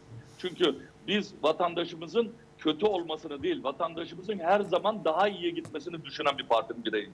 Onun için e, biraz önce siz de bence kontrpeye düştünüz orada. Ben hiçbir milletvekili arka- arkadaşımızın veya hiçbir e, üst düzey arkadaşımızın e, ekonomi daha kötüye gidecek, e, işte yerel seçimlerde daha başarıya gideceğiz. Bunun bu şekilde bir e, konuşmayı kabul etmiyorum E, ve de e, bunun da cevabını şöyle söylüyorum. Eğer biz İstanbul'u tekrar kazanacaksak, Ankara'yı tekrar kazanacaksak, mevcuttaki bulunan 11 büyük şehri tekrar kazanacaksak bizim o ildeki başarımızla kazanacağız bunu. Evet bu Açık ve net söylüyorum. Yani yoksa biz tekrar söylüyorum. Biz bu işi daha iyi yapacağız olan düşünceyle siyaset yapıyoruz. Ahmet Bey'in e, dediği bu e, sözde katılıyorum. Şurada katılmıyorum.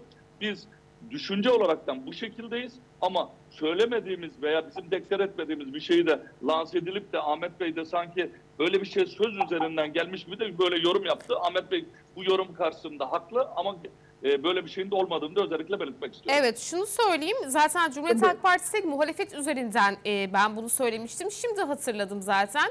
Sayın Ümit Özdağ e, bundan 3 hafta önce bu buna benzer değil bizzat aslında e, bu ifadeyi kurdu. Seçimler 2 senelik olacak açıklamasında da bulundu. Erken seçime gidilecek dedi. Şu an birçok haber sitesinde de var. Ee, Ümit Özdağ zaten birkaç e, hafta öncesinde de ifade etmişti. E, halk hatalı bir tercih yaptı ama bu e, Sayın Özdağ'ın ifadesi Cumhuriyet Halk Partisi'ni elbette bağlamaz. Ama muhalefetten buna benzer değil bizzat bu açıklamalarda e, geldi. Bu Ümit Özdağ'ın problemi. Yani şimdi Yani- e, sen Evet, evet. miyim? Tabii buyurunuz. Şimdi e, Mustafa Kemal Bey de ifade ettiler. Herhangi bir parti çıkıp e, aslında biz bir şey yapamıyoruz, yapmıyoruz, söylemiyoruz, söylemiyoruz ama burada bekliyoruz. İktidar başarısız olsun da vatandaş bize teveccüh etsin demez. Bunu e, lisani kal ile değil, hal ile söyler bunu. Nasıl söyler bunu? Geleceğe yönelik bir projesi olmaz ise İnsan hakları anlamda, adalet anlamda, ekonomi anlamda, siyaset anlamında, savunma anlamında, savunma sanayisi anlamında ülkenin e, istihdam alanındaki boşluklarını, yetersizlik, tersizliklerini doldurma anlamında bir proje ortaya koyamam bir siyasi partinin geriye kalacak tek bir argümanı kalır. İktidar yıpransın da biz e, oy, e, oylarımızı artıralım. bunu diliyle söylemesi, ifade etmesi etik de değil, doğru doğru da değil, gerekli de değil, yararlı da değil. Dolayısıyla bunu çıkıp e, kamuoyuna deklare etmişliğine ben de e, rastlamadım. Ama çok iyi biliyoruz ki Cumhuriyet Halk Partisi ülkeye yeni bir şey kazandırma anlamında bir proje ortaya koymayınca insan aklına bu gelir. Acaba sadece iktidarın başarısızlığını mı bekliyor diye. Yanlışsam e, sayın e, vekilimiz beni düzeltebilir. Evet. Ben e, Nisa Hanım cevap verebilir miyim? Tabii, e, buyurunuz. Konuya. Şimdi Ahmet Bey e, tekrar söylüyorum. Bir kere düşünce ve fikir olarak ben yüzde yüz sizinle birlikteyim. Ben Eyvallah. kesinlikle şahsım ve de partim adına bunu net söylüyorum. Hiçbir zaman e, toplumun, kitlemizin yani 81-83 milyon vatandaşımızın refah seviyesinin daha kötüye gidip, ekonomi daha kötüye gidip buradan başarı elde etmek peşinde falan değiliz. Öyle bir siyaseti ve öyle bir genel başkanımız da yok. Öyle birisi deklare etse, bakın ben özellikle sordum. Varsa bunu deklare eden biri, çünkü ben duymadım. Ben bunun adı genel başkan dahi olsa karşısına çıkarım. Ancak öyle bir durum yok. E, kesinlikle böyle bir e, siyaset tarzımız da yok. Benim ben e, 20 ku- 20 yıl e, ülke dışında yaşayan milliyetçi e, Cumhuriyet Halk Partili bir kişiyim. Açık ve net söylüyorum. Bu ülkeyi seven, bu ülkeye yatırım yapan, bu ülke için canını dişine takan ve de bütün işlerimi kenara bırakıp bu ülkenin daha bir refah seviyesini ve de ilimin ve de partimin ve de ülkemin e, sorunlarını çözme için uğraşan, özellikle de ulaşım sektörünün sorunlarını çözme için uğraşan 8,5 yılımı verdim ben parlamentoda. Onun için ben ülkedeki vatandaşlarımızın e, ekonomisi kötüye gidip de oradan nemen alıp oradan oy alalım, başarıya gidelim düşüncesine kesinlikle katılmıyorum. Böyle bir düşünceye sahip olan bir arkadaşımızın olduğunu inanmıyorum. Ama bunu lanse etmese bile farklı bir şekilde ima eden düşünceye de kesinlikle inanmıyorum. Bunun yanında siz şunu söylediniz. Dediniz ki yeni proje. Bakın insan hakları konusunda, adalet konusunda, özgürlük konusunda, ekonomik konusunda. Her, ben ekonomi masasının bir bireyiyim. Ulaşımdan sorumlu. Ee, yani düne kadar yani 14 Mayıs'a kadar bireyiyim. Şu anda değilim tabii ki. Evet. Ancak e, bu kadar yıldır bu dallara görev yaptım. O kadar proje verdim. Yani çiftçiden ulaşım sektörüne e, yapılan yapışlar devlet modellerinden e, kırmızı mazotundan aklınıza gelen bütün hizmet dallarında ve de üretim dallarında ve de insanlarımızın refah seviyesinin düzeltilmesi dalında e, yüzlerce e, kanun teklifi, binlerce soru önergesi veya e, nasıl yapılacağı ile ilgili mecliste e, en az bine yakın e, meclis genel kurul konuşmamla birlikte hepsini anlatmaya çalıştık. Ama bunların bazılarını geç de olsa uygulattırabildim, bazılarını hiç u- uygulamadılar. Onun için bizim düşüncemiz, şahsım ve de partimin düşüncesi kesinlikle daha ileriye gitmek adın- adına ülkemiz için önemli projeler yaratmaktır. Ama tekrar tekrar söylüyorum, birinin başarısızlığını üzerinden değil, özellikle de ülkedeki vatandaşların refah seviyesi ve ekonominin kötü gidip de vatandaşımızın kötü duruma düşüp de buradan AK Parti e, oy kaybedecek de biz iktidar olalım düşüncesine değil, biz bu işi daha iyi e, yaparız düşüncesiyle siyaset yaptığımızı özellikle belirtmek istiyorum. Evet tabii şimdi hani bu söyleyeceğim şey niyet okuyuculuğuna girecektir tabii ki ama Özkan Bey e, sonuç olarak Cumhuriyet Halk Partisi dediğimizde de ben genel anlamda muhalefet altılı masa demek istiyorum. Bunlar içerisinde insanız nihayetinde hata yapabiliriz. Bazen fikirlerimiz çok e, aşırı radikal noktalara gidebilir. Bu şekilde düşünen insanlarda zihninden geçiren insanların da ben var olduğunu düşünüyorum açıkçası. Hani çünkü e, sonuç olarak e, sizler böyle düşünmüyorsunuz. Milli olarak bakıyorsunuz, entelektüel olarak ülkenin e, bekasını düşünüyorsunuz ama iktidar gitsin de nasıl oluyorsa gitsin, erken seçim olsun bir şekilde de buradan gidebilir. Olağanüstü bir şey yani sonuç olarak e, bir sebep lazım ortada. Bir 5 yıl daha e, AK Parti iktidarıyla Cumhurbaşkanı Erdoğan'a devam etmek istemeyen bu mevcut ekonomiden de gerçekten artık illallah etmiş e, insanların zihninden böyle bir geçmiş de olabilir. Bunlar tamamen hani niyet okuyuculuğuna girdiği için bizler bir tahmin etmiştik, tahmin yürütmüştük. Kesinlikle Cumhuriyet Halk Partisi'nin zan altında bu anlamda bırakmamak lazım. Ama Sayın Güzel Özdağ'ın açıklamasına bakmak teşekkür, lazım. Teşekkür ederim. Teşekkür ederim. Senur Hanım, Evet.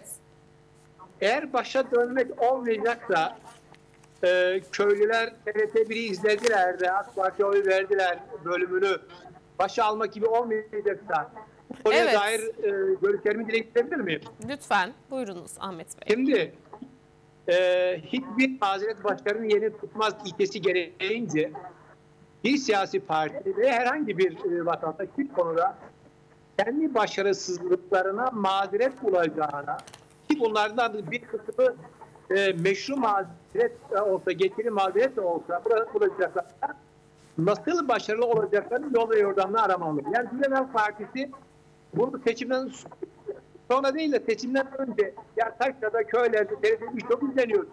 Buna yönelik de bir şeyler yapalım gayreti içinde olsa idi ve o gün bunu dile getirmiş olsalardı bugün bu mazeretleri de anlayışla karşılayabilirdik. Lakin hiçbir şey söyleme, seçimi kaybettikten sonra Türkiye'nin genelinde artık bütün kanalların rahatlıkla izlenebildiği bir Türkiye'de TRT1 gibi e, gerçekten de objektif yay- yayın yapma gayretinde olan bir kanalı e, gerekçe başarısızlara gerekçe göstermek çok da makul değil. Bakın AK Parti bundan 22 yıl önce televizyonlara çıkmalarının çok da sağlanmadığı bir ortamda iktidara geldi. Ve AK Parti'ye ekranlar kapalıydı. Amiral gemisinin e, gazeteleri, televizyonları ve diğerleri AK Parti'nin genel başkanı ki o da yasakla, yasaklıydı. Milletvekili olamıyordu biliyorsunuz. Buna rağmen iktidar oldu. Yani Türkiye'de iktidar olmaması gereken medya, devletin kademelerindeki e, katı duruş AK Parti'nin iktidar olmamasını gerektirdiği halde AK Parti ezici bir çoğunlukla iktidara geldi. Dolayısıyla Cumhuriyet Halk Partisi'nin bugün e, iki elin parmaklarının daha fazla e, yandaş olarak tabir edeceği kanalları var. Bugün parayla e, kendilerini tabiri caizse içinde satın aldığı kanallar var. Tek tek e, deşifre edilen kanallar var. Bu kanalların varlığına rağmen iktidar olamamışsa e, birkaç yüz köyde TRT1'in çek, yalnız TRT1'in çekmiş olmasını bir mazeret olarak öne sürmeleri kendi başarısızlıklarını kamufle etmeye yönelik bir çaba olduğu ve bu çabanın da kamuoyu tarafından satın alınmadığını ifade etmek istedim. Evet teşekkür ederim. Şimdi Mustafa Kemal Bey'e ben bir e, söz vermek istiyorum. İsterseniz bir e, Cumhuriyet Halk Partisi'nden giriş yaptık. Şu anda da e, tartışılan gizli protokol olarak bilinen Sayın Ümit Özdağ ve Kılıçdaroğlu arasındaki bu meselenin de e, altılı masanın önceki şu an artık bir seçim ittifakı olmadığı için hani bittiğini biliyoruz ama e, tabii size de soralım Özkan Bey yani şu an insanların altılı masa ifadesi e, çok hatalı bir ifade değil mi? Şu an bu cümleyi kurmak sonuç olarak bazı partilerin çıktığını, bazı partilerin belki yerel seçimlerde tekrardan ittifaka dahil olduğunu biliyoruz ama e, burada e, Sayın Kılıçdaroğlu'nun çok önemli bir ifadesi vardı. Özellikle son cümlesi bence önemliydi. Bunu biraz değerlendirmek istiyorum.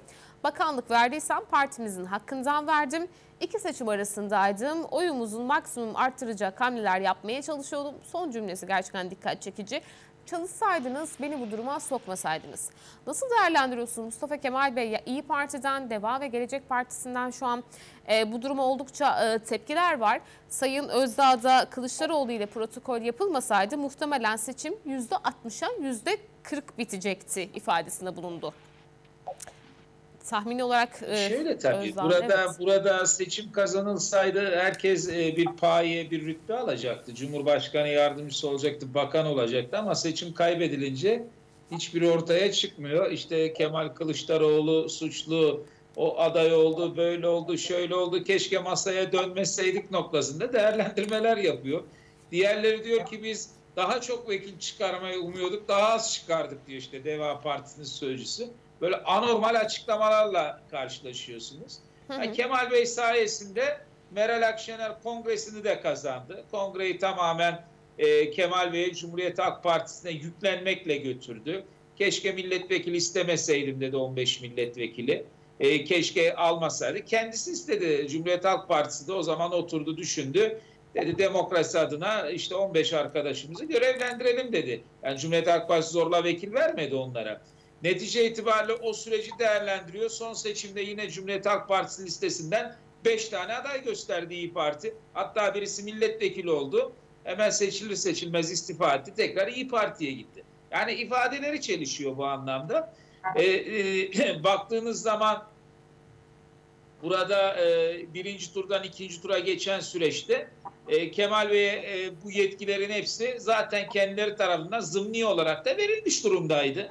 Yani burada Kemal Kılıçdaroğlu işte e, Engin Özkoç'un adı geçiyordu işte İçişleri Bakanlığı'nda. E, bu çok da tartışıldı o zaman. Gündemde oldu biliyorsunuz.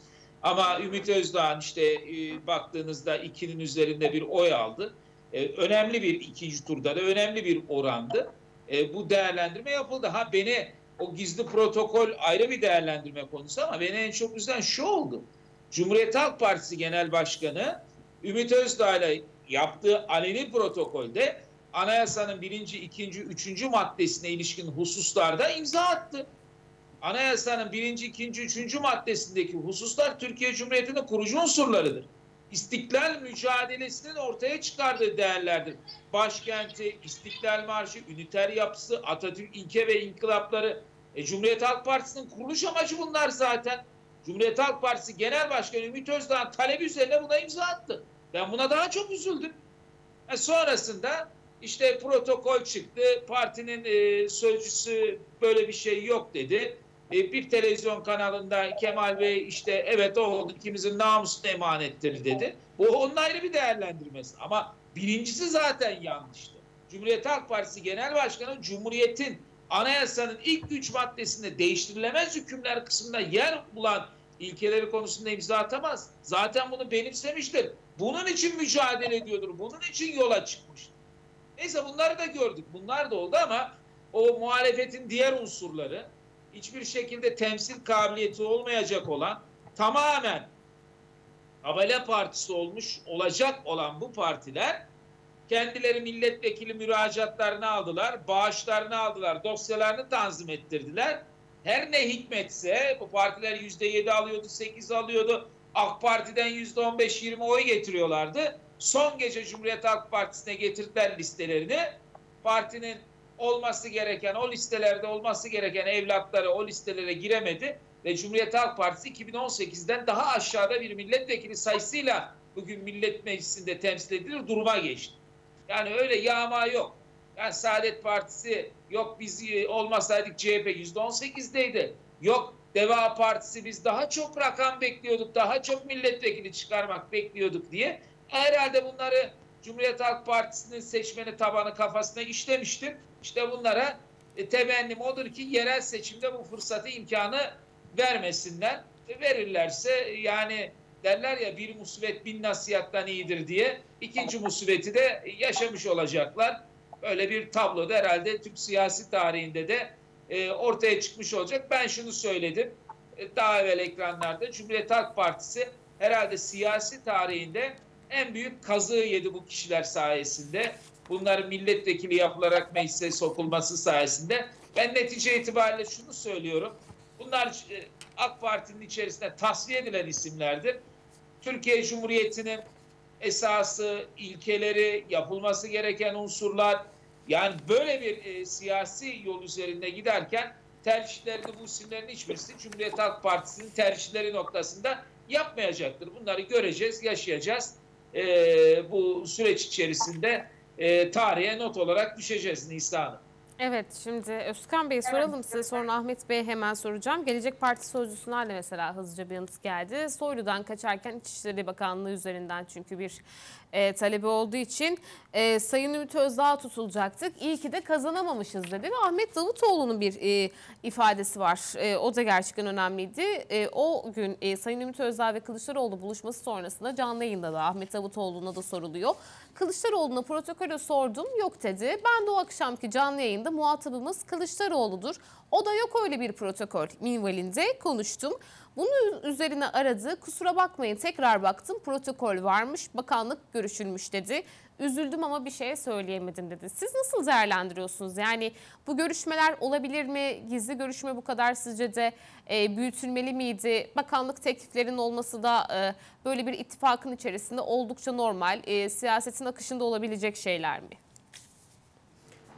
Şimdi, Şimdi Nisa Hanım, ilk önce şu şekilde değerlendirmek istiyorum. Ee, bu konuya hemen gireceğim ancak e, medyanın gücü Ahmet Bey e, iki kere iki dört kadar net söylüyorum. E, örnek veriyorum e, ben bunu tabii ki bu bunun arkasına, başarısızlığın arkasına buraya e, bir tek TRT'nin arkasına sığınmıyoruz. TRT'nin adil olmadığını e, isminizin Ahmet olduğu kadar emin olun lütfen. Çünkü iktidar partisine vermiş olduğu e, dakika e, ve de e, diğer muhalefet partilerine veya iktidar orta partisine vermiş olduğu dakika veya diğer muhalefet partilerine vermiş olduğu dakikalar her şey istatistiklarıyla, rakamlarıyla bellidir. Bunun cevabını yani ayrılan süreler e, nettir. Bunlar rakamlar yalan söylemez. Onun için bunu bu şekilde cevap vermek istiyorum. Ama bu, bu, bu bunu buradan da başarısızlığa sığınmak istemiyorum ama böyle bunun da bir etken olduğunu belirtmek istiyorum. Diğer Evet. bir taraftan sizin sorunuza gelince Nisa Hanım, e, şunu e, bakın 14 Mayıs tamamlandı. 14 Mayıs tamamlandıktan sonra çıktı e, ortaya e, 50 %50'ye yakın olan bir iktidar partisi var. Diğer bir taraftan da 4 puan e, toplamda %50'ye 4 puan ve 3,5 puan geride olan bir, e, bir parti var. Bir de aradaki oyları alan başka bir e, isim var. E, şimdi burada e, Sayın Genel Başkanımız Kemal Bey'in e, Ümit Özdağ'la yaptığı e, görüşme o gün Habertürk ekranlarında da e, Mehmet Akif Bey'e de e, bir şekilde anlattı. E, özel olduğunu, gizli olduğunu söyledi. Detayını da kendisi de açıklamadı. Hala orada bakanlık verilirdi, verilmezdi vesaire. Biz bunu görmedik. Kimse de bunu e, resmi bir yazı olarak açıklamadı. E, ama şunu da söylemek isterim. Eğer e, o birleşme yapıldıktan sonra, bakın bakanlık verildi verilmedi bilmem. Böyle bir söz konusu.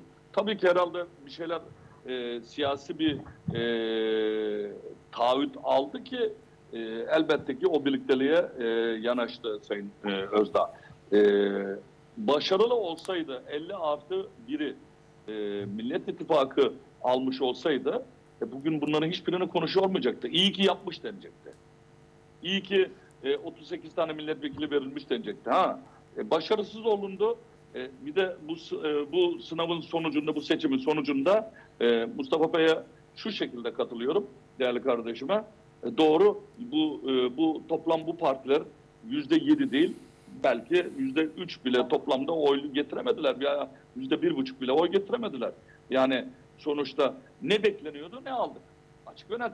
Bugün e, yüzde bizim Cumhuriyet Halk Partisi'nin oyunun yüzde 25'ten aşağı olmadığını e, siz ekranda olan dört kişisiniz şu anda. Yani konu e, ekranda e, konuşmacı, yorumcu olarak sizler dört kişisiniz. Toplam olarak hepimiz birlikte. Bunca seyircimiz izliyor. Herkes kabul eder ki Cumhuriyet Halk Partisi'nin kemik oyunun yüzde 25. E, e, bugün diğer alınan oylar da orta yerde. E, HDP'nin hepsini vermedi tabii ki. Keşke verse yok öyle bir şey. Ama e, sonuçta toplamda oyların e, hepsini topladığımızda e, bu diğer beş parti e, keşke toplam sayıları kadar e, yüzdelik oranda bir oy alsaydı biz bugün 53 ile Sayın e, Genel Başkanımız Kemal Kılıçdaroğlu Cumhurbaşkanı koltuğundaydı. Yani sonuçta o beklenen oy alınamadı. Bu 2-2-4 gerçek. E, 38 milletvekili de e, hak et, yani getirmediği oydan daha fazla olunduğunu hepimiz biliyoruz. Bunu da tartışmanın bir anlamı yok. Ama bu, bu bir kapalı kutuydu. Ne kadar getireceğine geçmişte bir sadece orada bir, bir veri e, Temel Bey tarafından var. Ama diğerleri tarafından e, elimizde bir veri yok. Onu da bilelim yani. Sonuçta kimin ne kadar oy getirdiğini getiremeyeceğini bilmiyoruz. E, sadece e, anketler üzerinden veya yorumlar üzerinden gidilen bir durumdu. E, ama tekrar söylüyorum Ümit Özdağ Beyefendi ile Genel Başkan'la yapılan e, görüşme veya anlaşma sonucunda e, toplamda yüzde 56 bir Evet. barajını Millet Özkan Bey. İttifakı geçmiş olsaydı bu, bugün bunları çok iyi yaptı diye de yorum yapıyor olabilirdik. Şimdi de eleştirisini yapıyor. Evet teşekkür ederim. Şimdi e, kısa bir reklam arasına geçiyoruz değerli izleyenler. Reklamlardan sonra Ahmet Ağa ile birlikte kaldığımız yerden devam edeceğiz.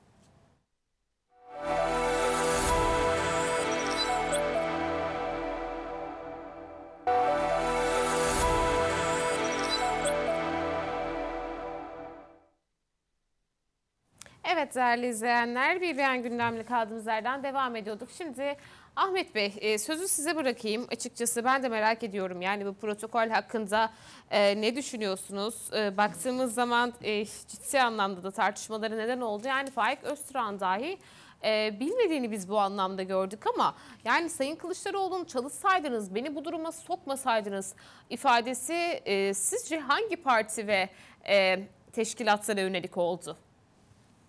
Evet. Bu hem kendi partisine hem de masadaki e, diğer partilere yönelik bir ithamdı aslında, sistemdi.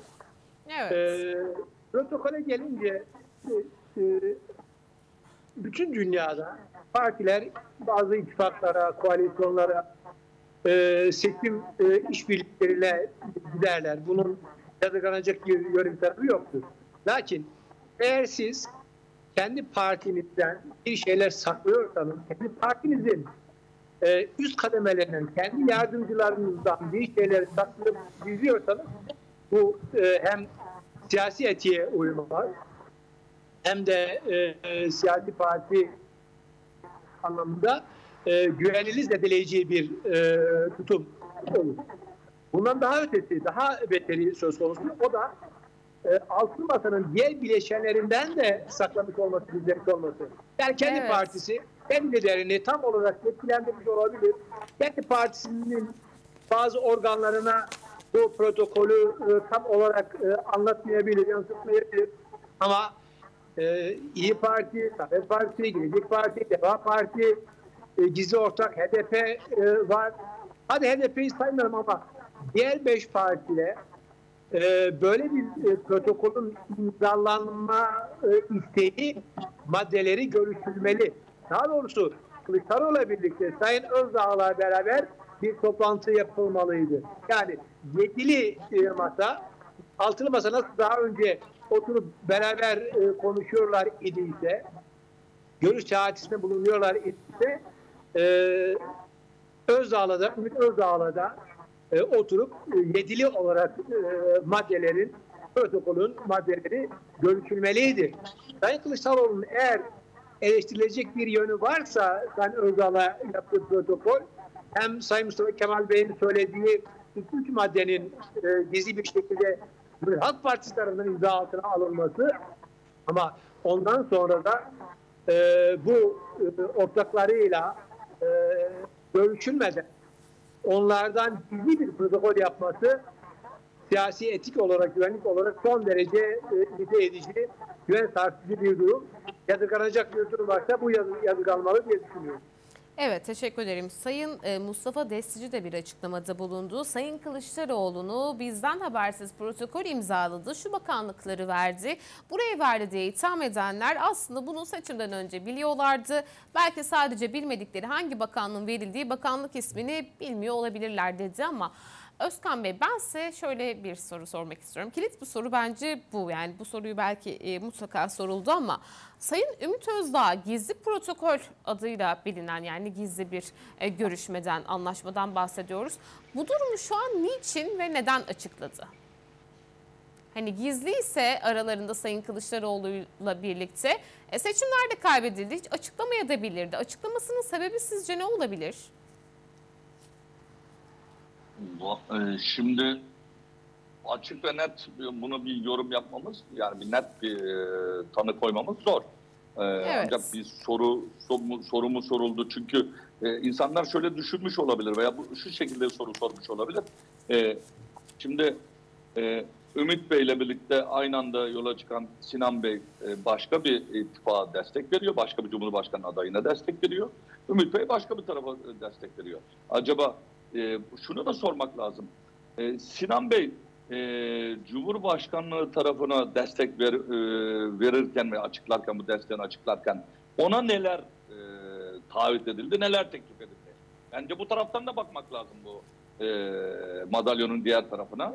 E, şimdi o taraf kazandığı için bu taraf hiç konuşulan yok. E, bir de bu tarafa e, bu taraf kaybettiği için bence e, neler konuştunuz, neler verilmişti diye o şekilde bir soru üzerine bence bir e, Ümit Bey bunu açıklama ihtiyacı tabii detayını açıklamadı ama e, bu şekilde bir soru üzerine açıkladığı kanaatindeyim. Evet e, Mustafa Kemal Bey o zaman bu soruyu hani ben size de sorayım. Sayın Sinan Oğan'a e, ne vaat edildi? E, edilmiş de olabilir, edilmemiş de olabilir ama şu ana kadar zaten e, Sayın o anda çok kez açıklamalarda bulunuyordu. Herhangi bir buna benzer bir pazarlık girişimlerimiz olmadı dedi. İlk başta da eğer dedi İçişleri Bakanlığı'nı dedi Sayın e, Cumhur İttifakı e, kabul ederse Ümit Özdağ, Ümit Özdağ'ın da destekleyeceğini söylemişti ama kabul etmediği için bizler de yollarımızı ayırdık minvalinde bir açıklama yapmıştı. E, Sayın o andan da ziyade yani e, öyle bir şey vaat edilmiş midir? Bu soruyu ben size de sorayım. Yani şu an niçin çarşı pazarı karıştırma ihtiyacı duymuş olabilir Ümit Özdağ? E şunu söylemek lazım. Hem Sinan Oğan hem e, Ümit Özdağ stratejist. Yani uzun yıllar bunun eğitimini almış iki tane isim Türkiye'de. Ve ikisi bir anlaşma yaptılar. Benim değerlendirmem öyle. Sen Cumhur İttifakı tarafında ol, ben Millet İttifakı tarafında olayım. Strateji buydu. Yani iki açıdan da kazan kazan e, politikası. Aslında hala arkadaşlar bence. ve Yani işbirlikçi çünkü- olarak mı görmemiz lazım? Yani benim kanaatim o yönde çünkü bunu Ümit Özdağ da ifade etti. Evet. Ee, Ümit Öz, e, e, Sinan Oğan da ifade etti. Bana çok evvelden Cumhur çünkü e, Zafer Partisi içerisinde de bir kaynama oldu. Nereden çıktı e, işte Sinan Oğan ismi diye. Sinan Oğan bu daha çok e, önceden belliydi noktasında değerlendirmeler yaptı ki Ümit Özdağ Ata İttifakı'nı kuruyor. İşte o arada da Mansur Yavaş'ın ismini geçiriyordu. Çık Mansur Yavaş adaylığını açıkla arkanızdayız diye. Biliyorsunuz o süreçte Muharrem İnce ittifakı bozdu. Ya ben yedek aday olmam kardeşim dedi. Sürekli ne Mansur Yavaş Mansur Yavaş diyorsunuz diye değerlendirme yapılmıştı. Evet. Ama Ümit Özdağ ile Sinan Oğan arasındaki stratejinin daha evvel belirlendiği de benim kanaatimce ortaya çıkmış vaziyetteydi. E burada Sinan Oğan biliyorsunuz ikinci turda Sayın Cumhurbaşkanı'nın yanında oldu Sayın Oğan. Ümit Özdağ da burada gitti bir e, ittifak yaptı Kemal Bey'le ki e, biliyorsunuz e, Meral Akşener hiçbir şekilde haz almıyor Ümit Özdağ'dan. Ümit Özdağ'ın artık ismini duyunca bile çıldıran bir vaziyete geldiğini hepimiz e, biliyoruz. Ve bundan dolayı da Ümit Özdağ ile olan bir yaklaşımdan dolayı da CHP'ye yaklaşımının sert olduğu da değerlendiriliyordu Meral Akşener'in. İşte tam bu süreçte Kemal Kılıçdaroğlu, Sayın Kılıçdaroğlu, Meral Akşener'in bu sert açıklamalarının daha soğuması gerçekleşmeden biliyorsunuz geçen hafta bir ziyaret gerçekleştirdi Sayın Akşener'e. İşte e, yerel seçimlere ilişkin değerlendirmeler de yapıldığı söylendi ki normal şartlarda bunun soğumasının beklenmesi lazımdı. Ve bunun işte Ümit Özdağ ile olan o e, yaklaşımı bir nevi e, tekrardan İyi Parti'ye dönüş olarak da değerlendirenler oldu. Ve tam o aşamada işte e, Ümit Özdağ'ın açıklaması. Bizim aramızda protokol vardı. Bakanlık verildi noktasında değerlendirmeler yapıldı. Artık bu açıklamalardan sonra Ümit Özdağ'ın bu açıklamalarından sonra ben CHP ile e, Zafer Partisi arasında bir e, yerel seçim ittifakı olacağı kanaatinde değilim. Yani tam bir stratejiyle döşenmiş Yani vaziyette Mustafa Kemal Bey özür dilerim plana sadık kal e, derken de belki de bundan bahsediyorlardır. E, Biz evet zaten yani onu arkadaşız. söylüyorum işte. Hem, hem Sinan Oğan hem Sayın Sinan Oğan hem Sayın Ümit Özdağ çok iyi strateji verilen isimlerdir. Yani karşısındaki siyasetçiler nasıl bir yaklaşım sergiliyor bilmiyorum ama hem kendilerini gündemde tutmak açısından hem de işte kazanan tarafında olmak bakımından ama şu var tabii ki Sayın Oğan bu süreçte bir bakan, bakan yardımcılığı, bir genel müdürlük, e, bir büyükelçilik yönünde bir değerlendirme yapılmadı. Ha, istememiş de olabilir. Yani ben mevki makam istemiyorum da demiş Evet. olabilir. Onu da bilemiyorum ama Mustafa daha e, Sayın. Cumhurbaşkanı'na verdiği destek karşılığında somut bir e, şey almış durumda değil şu an itibariyle. Burada şu değerlendirmeler de vardı. E, yani sonuç itibariyle e, biliyorsunuz hem Ümit Özdağ hem Sinan Oğan hem e, Meral Akşener hem Karay Aydın İyi Parti'nin kurucuları olan isimlerdi ve bunlar Milliyetçi Hareket Partisi'nin içinden çıkmış isimlerdi. Sinan Oğan'ın, Sayın Oğan'ın bu anlamda e, Milliyetçi Hareket Partisi'ne bir genel başkan olmak istediği, böyle bir Evet. uhdesinin olduğu, bu tarafta Cumhur İttifakı'nın içerisinde olmak suretiyle e, yarın bir gün Allah korusun, Allah uzun ömür versin, Sayın Bahçeli görevi bırakırsa e, işte Milliyetçi Hareket Partisi'ne yürüme gibi bir imkanın olabileceğini değerlendirdiğini söyleyenler oldu. Ha Milliyetçi Hareket Partisi şu anki dinamiklerine baktığımda bu mümkün müdür? Muharrem İnce'nin CHP Genel Başkanı olması nasıl zorsa e, Sinan Oğan'ın da e, MHP Genel Başkanı olmasını ben o kadar zor görüyorum süreç itibariyle ama bunlar söylenen hususlar. E, bakalım ne olacak ama Ümit Özdağ'ın iyi bir strateji belirleyen isim olduğunu o akademik çalışmalarını bir şekilde siyaset üzerinde de yürütme çabasında olduğunu değerlendiriyorum ben nacizane Nisa Hanım. Evet e, açıkçası biraz da öyle gözüküyor gibi yani Sayın Oğan'ın MHP hatta ben e, MHP'li önemli bir siyasi temsilciyle program yaptığım zaman bu hadisenin e, konusunu geçmesi bile e, çok ciddi anlamda rahatsızlık uyandırmıştı. Bizler de bu ihtimalleri şu anlık en azından vermiyoruz. O zaman Ahmet Bey e, size dönelim bir Tanju Özcan meselesini değerlendirelim. Programında son bir e, 20 dakikası kalmış. E, biliyoruz ki e, Sayın Tanju Özcan CHP'den ihraç edildi ve İhracından sonraki ilk açıklaması ise Kılıçdaroğlu kişisel ikbali için gerektiğinde Alevi oluyor dedi. 13 yıldır genel başkansın Alevi kardeşlerimizin e, sorunları için somut bir adım attı mı dediğinde hiçbir şey söylemiyor ifadesinden bahsetti. Yani bu hadiseyle ilgili sabah yaptığım programda e, gazeteci Güngör Yavuz Arslan'ın bir ifadesi vardı. Ben dedi Cumhuriyet Halk Partililerle konuştuğum zaman bu benim fikrim değil dedi o partinin içerisindeki insanlarla konuşunca Sayın Kılıçdaroğlu'nun partiyi artık mezhepçi bir e, noktaya ilerlettiğini e, söyleyenler ve bu durumdan müzdarip olan insanlarla da karşılaşıyoruz e, diye bir ifadede bulunmuştu. Siz nasıl değerlendiriyorsunuz? Sayın Özcan niçin şu an sizce Alevi olayını gündeme getirmek istedi ihraç sonrasında? Evet. Biz e, Kılıçdaroğlu'nun Alevilik ile ilgili e, gerçekten çok eskiden de e, duymak isterdim. Yani taslim haline girildiği ve e, günler kadar böyle bir e, beyanı yadırganan, yadırganması gereken bir beyandı. Çünkü ben Kılıçdaroğlu'nun Tunceli olduğunu biliyorum. Tunceli bölgesinin adının Dersim olduğunu biliyoruz. E, Cumhurbaşkanı Sayın Erdoğan'ın başbakan olduğu dönemde e, Dersim'deki mensup olaylarla ilgili devlet adına bir e, helalleşmeden, özürden bahsettiğini de çok iyi biliyoruz. Ama Cumhuriyet Halk Partisi Genel Başkanı Sayın Kılıçdaroğlu, Dersimli Sayın Kılıçdaroğlu bir kere olsun bırakın Dersimli olduğunu ifade etti. Tuncelilerine bir tek kere bir olsun Dersim ismini kullanmaması ortadayken seçime az bir süre kala ben e, Aleviyim e, demesi e, düşündürücü. Bu Sayın Kılıçdaroğlu'nun e, oportunist bir e, siyasi e, hedefe sahip olduğunu, e, siyasi makvalizme e, kaydığını söyleyebiliriz. Kendisine birileri söylemiş olabilir. Alevi olduğunu söyleseniz, e, Seyit olduğunu söyleseniz, çok hafız olduğunu söyleseniz, oy alırsınız demişlerdi. Ya o söylemiştir Alevi olduğunu ya başkaları Seyit olduğunu söylemek suretiyle e, oy devşirmeye e, gitmek istediklerini bu şekilde ortaya koymuşlar. Bu siyasi olarak hem etik değil hem de siyasi getirisi olmuyor. Bu ülke artık etnik, mezhep ve mektep üzerinden oy devşirmeye e, açık bir ülke olmadı. Herkes bilmeli.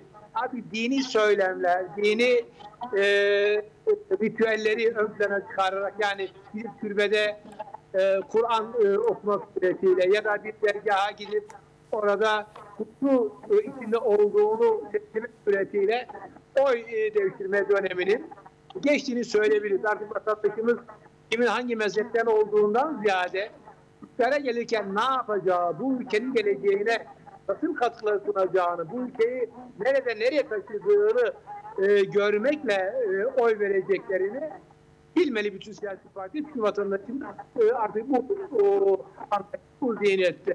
Dolayısıyla Sayın Kılıçdaroğlu'nun da durup dururken bir gerek e, yok. E, ben Alevi'nin de, demesi e, Altılı Masa'nın bir ortağı olan İyi Parti seçmeninin de e, tarafsız olan, çekimser olan, e, oy rengini belli etmeyen yüzde 17-18 hatta yüzde 20 civarındaki seçmen içindeki e, yüzde 2-3 orandaki seçmeni de Cumhuriyet Halk Partisi'ne ve Sayın Kılıçdaroğlu'na oy vermemeye sevk ettiğini çok iyi biliyorum. Yapılan anketlerde de bu e, görüldü diye e, biliyoruz. Dolayısıyla Sayın Kılıçdaroğlu yanıltıldı Alevi konusunda. Evet, e, sanırım Özkan Bey, sanırım değil beden dilinize baktığımız zaman siz de hemfikirsiniz Ahmet Evet. Bey ile bu konuda. Yani hatalı bir e, basın çalışması mı diyelim, e, kurmayları mı? Siz zaten, Doğrusu- Ahmet Bey özür dilerim, Bu- sizden önce e, Özkan Bey zaten bu konuda bir öz eleştiri de yapmıştı. E, Cumhuriyet Halk Partisi'nin e, bu anlamdaki işte kadrosundan ziyade basın danışmanları ve kurmaylarından daha çok bahsettiniz galiba değil mi Özkan Bey? Hatalı bir ifade olmasın. Şimdi Ahmet Bey'e e, bu teşhisiyle alakalı katılıyorum. E, ben e, genel başkanımızın biz bilen biriyiz. Birçoğumuz biliyor. Ama Türkiye'deki 80 milyonun belki yarısı Kemal Bey'in Alevi veya Sünni olup olmadığını kimse bilmiyordu. Bence bir herhangi bir Merak Kemal Bey bence merak etmiyordu yani zaten bravo Evet. yani merak etmiyordu. Ee, bence danışmanları e, çok yüzyılın seçimi dediğimiz e, Cumhuriyet'in en önemli e, 100 yaşına gelirken bu seçimin e, öncesi e, Kemal Bey'in ben Aleviyim demesini ben doğru bulmadım. E, hatalı bir strateji olduğunu söylemek istiyorum ben de aynı şekilde. Ama bunu Kemal Bey yanıltan kesinlikle bunu söylemesini isteyen danışmanlarının hatası olduğunu aynen birebir katılıyorum ve de bu sebepten dolayı da oy kaybettiğimiz kanaatindeyim. Yani Kemal Bey'e oy vermeyenler çıktığı kanaatindeyim. Yoksa Kemal Bey beyefendi bir kişi, dürüst bir kişi, güvenilir Evet. bir kişi. Onu, onun e, Alevi, Sünni veya başka bir mezhepten olup olmadığını kimseyi ilgilendirmez. Ama bazı e, ülkemizde e, belirli bir e, kitleleri e, ilgilendiren bir durum olduğu için bence bunun söylenmesinin yanlış bir politik, siyasi bir politik olduğunu benden kabul ediyorum. Ama suçlunun e, bunu söylettiren e, danışmanların olduğunu özellikle belirtmek istiyorum. Evet, e, E, bu, bu, bu- bu- bunu bu şekilde cevap verirken Ahmet Bey bu, bu konuda doğru söyledi ama hata yaptığı ve de objektif olmadığı bir konu daha var. E, Sayın Recep Tayyip Erdoğan da e, dini kullanaraktan çok oy aldığını, çok oy devreştiğini de e, cami sonucun e, cuma namazları sonucunda son, sonunda e, cuma e, namazı bitiminde hatta cuma e, pardon caminin bahçesinde basın ordusuyla bütün e, millete açıklama yaptığını, e, bunu devletin TRT'si dahil birçok kanalında açıklama yaptığını her cuma sonunda en azından birçok cuma sonunda gördük. E, elhamdülillah Müslümanım. Ben de e, tabii ki biliyorum. Kur'an'ın ne olduğunu da biliyoruz. E, okuyan bir de kişiyim. Ancak bu, bunun da siyasi alet olaraktan okuyup da ekranlarda bunun gö- görüntüsü doğru olmadığını, siyasi bir amaçla olmadığını da özellikle belirtmek istiyorum. Bundan en çok yaralanan kişinin de Recep Tayyip Erdoğan olduğunu da belirtmek isterim. Evet şimdi baktığımız zaman seçimler bittiği için e, bizler de zaten hani bu sonucu hemen e, söz vereceğim Ahmet Bey e, yapabiliyoruz. Siyasal iletişim açısından evet belki de başarısız oldu. Hatta ilk çıktığı zaman en fazla e, Twitter üzerinde e, tıklanan e, video olarak bilindi ama onun e, verileri ne kadar doğru ne kadar değil bilmiyoruz. Şu an değişmiş de olabilir. Fakat dediğimiz gibi e, bunu belki de Sayın Kılıçdaroğlu'na e, açıklatma ihtiyacı e, duyduran da küçük de olsa bir kitle vardı ne yazık ki. Bence çok çirkin bir şey. Bence de mezhepler, ırksal üzerinden e, bunlara girmek e, belki hatalı bir e, girişimdi ama e, öte taraftan da belki de açıklama ihtiyacı da duymak e, istemiş olabilir. Ülkemizde bu tarz e, durumların, bu tarz mezhepçi yaklaşımlarında olmamasını temenni ediyoruz. Buyurun Zahmet Bey. Doğru. Şimdi Sayın Erdoğan'ın Kur'an okuması, e, cami bahçesinde e, vatandaşa dini içerikli e, hitabette bulunmasını yadırgamamak lazım. Çünkü Sayın Erdoğan yaşantısı ve söylemiyle barışık bir. Beğenmeyebilirsiniz, takdir etmeyebilirsiniz. Ama Sayın Erdoğan'ın Türkiye'de 83 milyonun Peki yaklaşık 50 küsür milyon, 60 milyon seçmen Sayın Erdoğan'ın İstanbul gelenekten geldiğini biliyor. Beş vakit namazın yazılı olduğunu biliyor. Dinli bir insan olduğunu biliyor. Eksiyle günahıyla birlikte dindar bir insan olduğunu biliyor. Dolayısıyla Sayın Erdoğan'ın Kur'an okuması yadırganmaz. Ama siz on yıllar boyunca mezhep ve meşrebinizi gizliyorsunuz söyleme gereği duymuyorsunuz en azından. Ama seçime az bir süre kala söylediğiniz zaman bu vatandaşın e, gönlünde çok da yer edilecek bir söyleme dönüşüyor. Yani sen Erdoğan vatandaşın bildiği hayatını televizyon ekranlarında da olduğu gibi yaşamaya çalışıyor. Seçim olsun veya olmasın.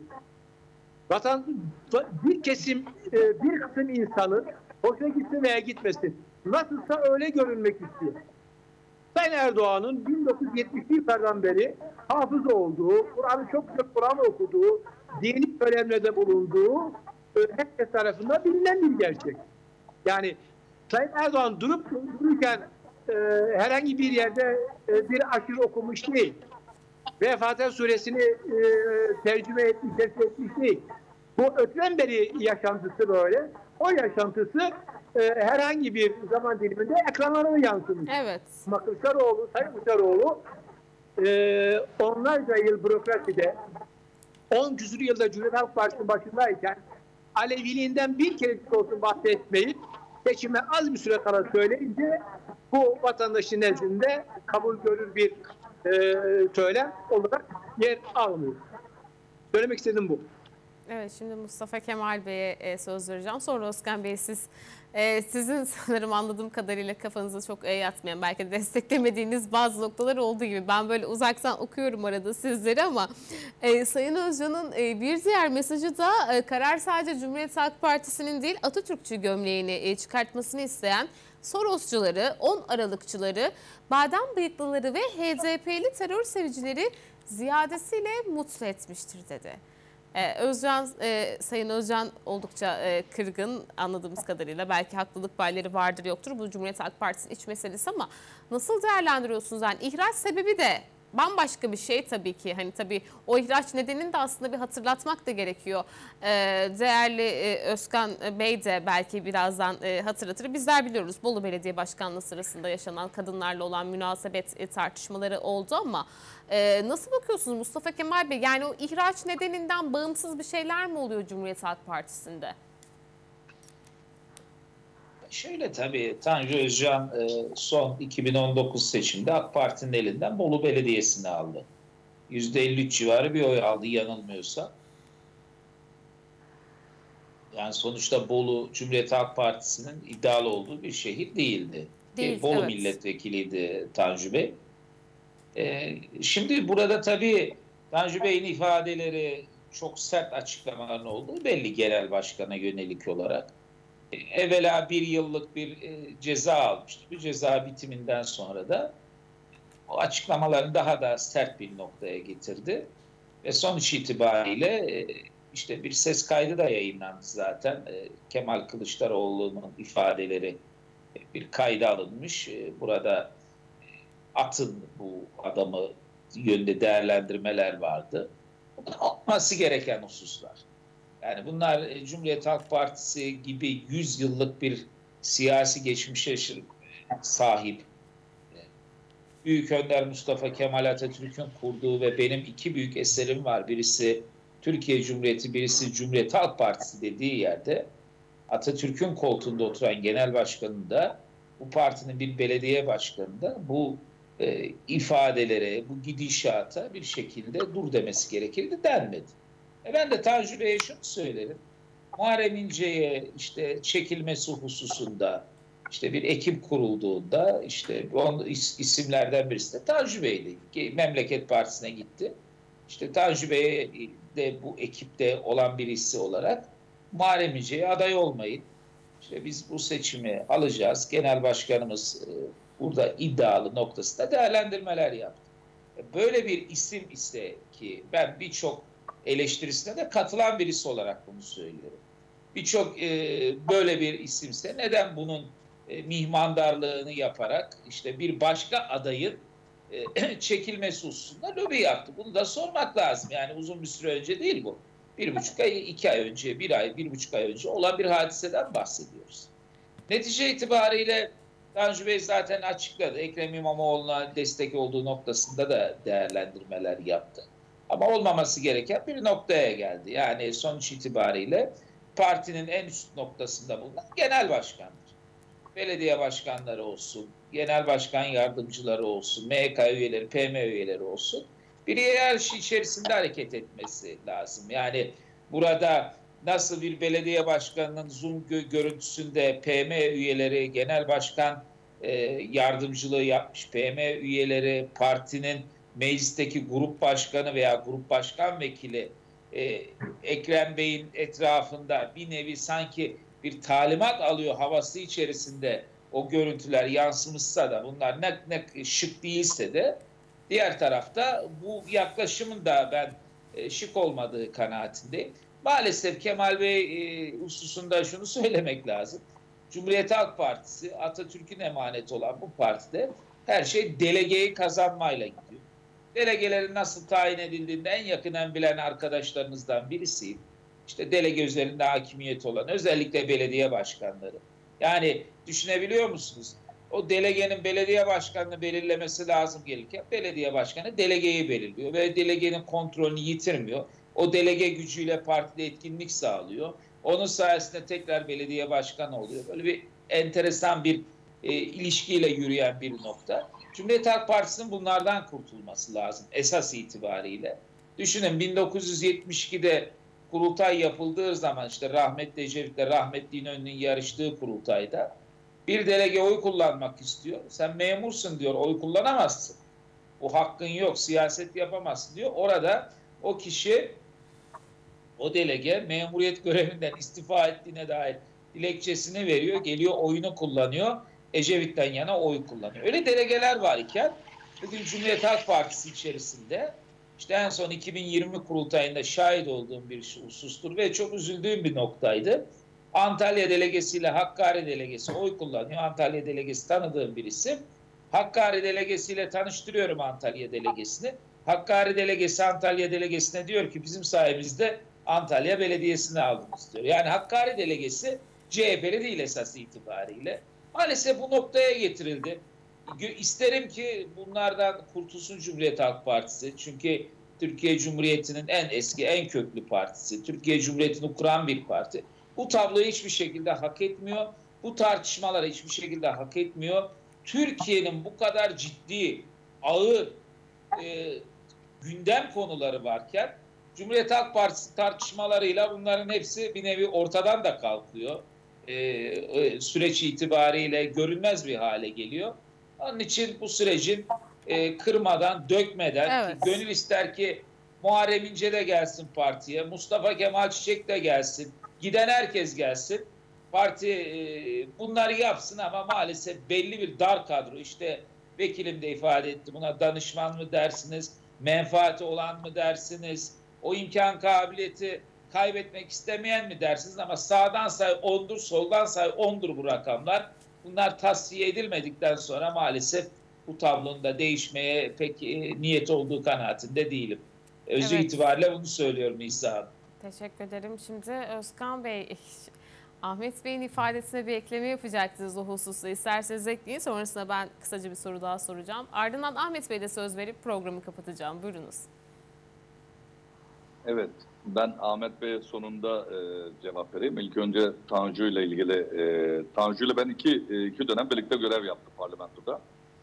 E, daha sonra e, önemli bir başarıya imza attı ve de e, Bolu Belediye Başkanı e, aldı. E, tabii ki genel merkezle birlikte ve de ittifakın gücüyle aldı. Şimdi bu 2-2-4. Ancak Tanju bir taraftan başarı elde ederken bir taraftan da e, şunu bilmesi gerekiyordu. Ben kendisini şahsen e, severim, kendisiyle de görüşürüm. E, ancak şurada hata yaptı. Unutmasın ki e, Cumhuriyet Halk Partisi'nin koltuğunda Kemal Bey de ol- olsa, başkası da olsa o koltuk Atatürk'ün koltuğu. O koltuktaki bir kişiye e, gelip e, genel merkezin önünde e, o tip bir protesto yapmasını doğru bulmadığımı ve de e, bu sebepten de, de parti hani her ne kadar da başka sebepler de gösterilse bu sebepten partiden ihraç edildiğini bilen bir kişiyim. Onun için burada hata yaptığını özellikle e, belirtmek istiyorum.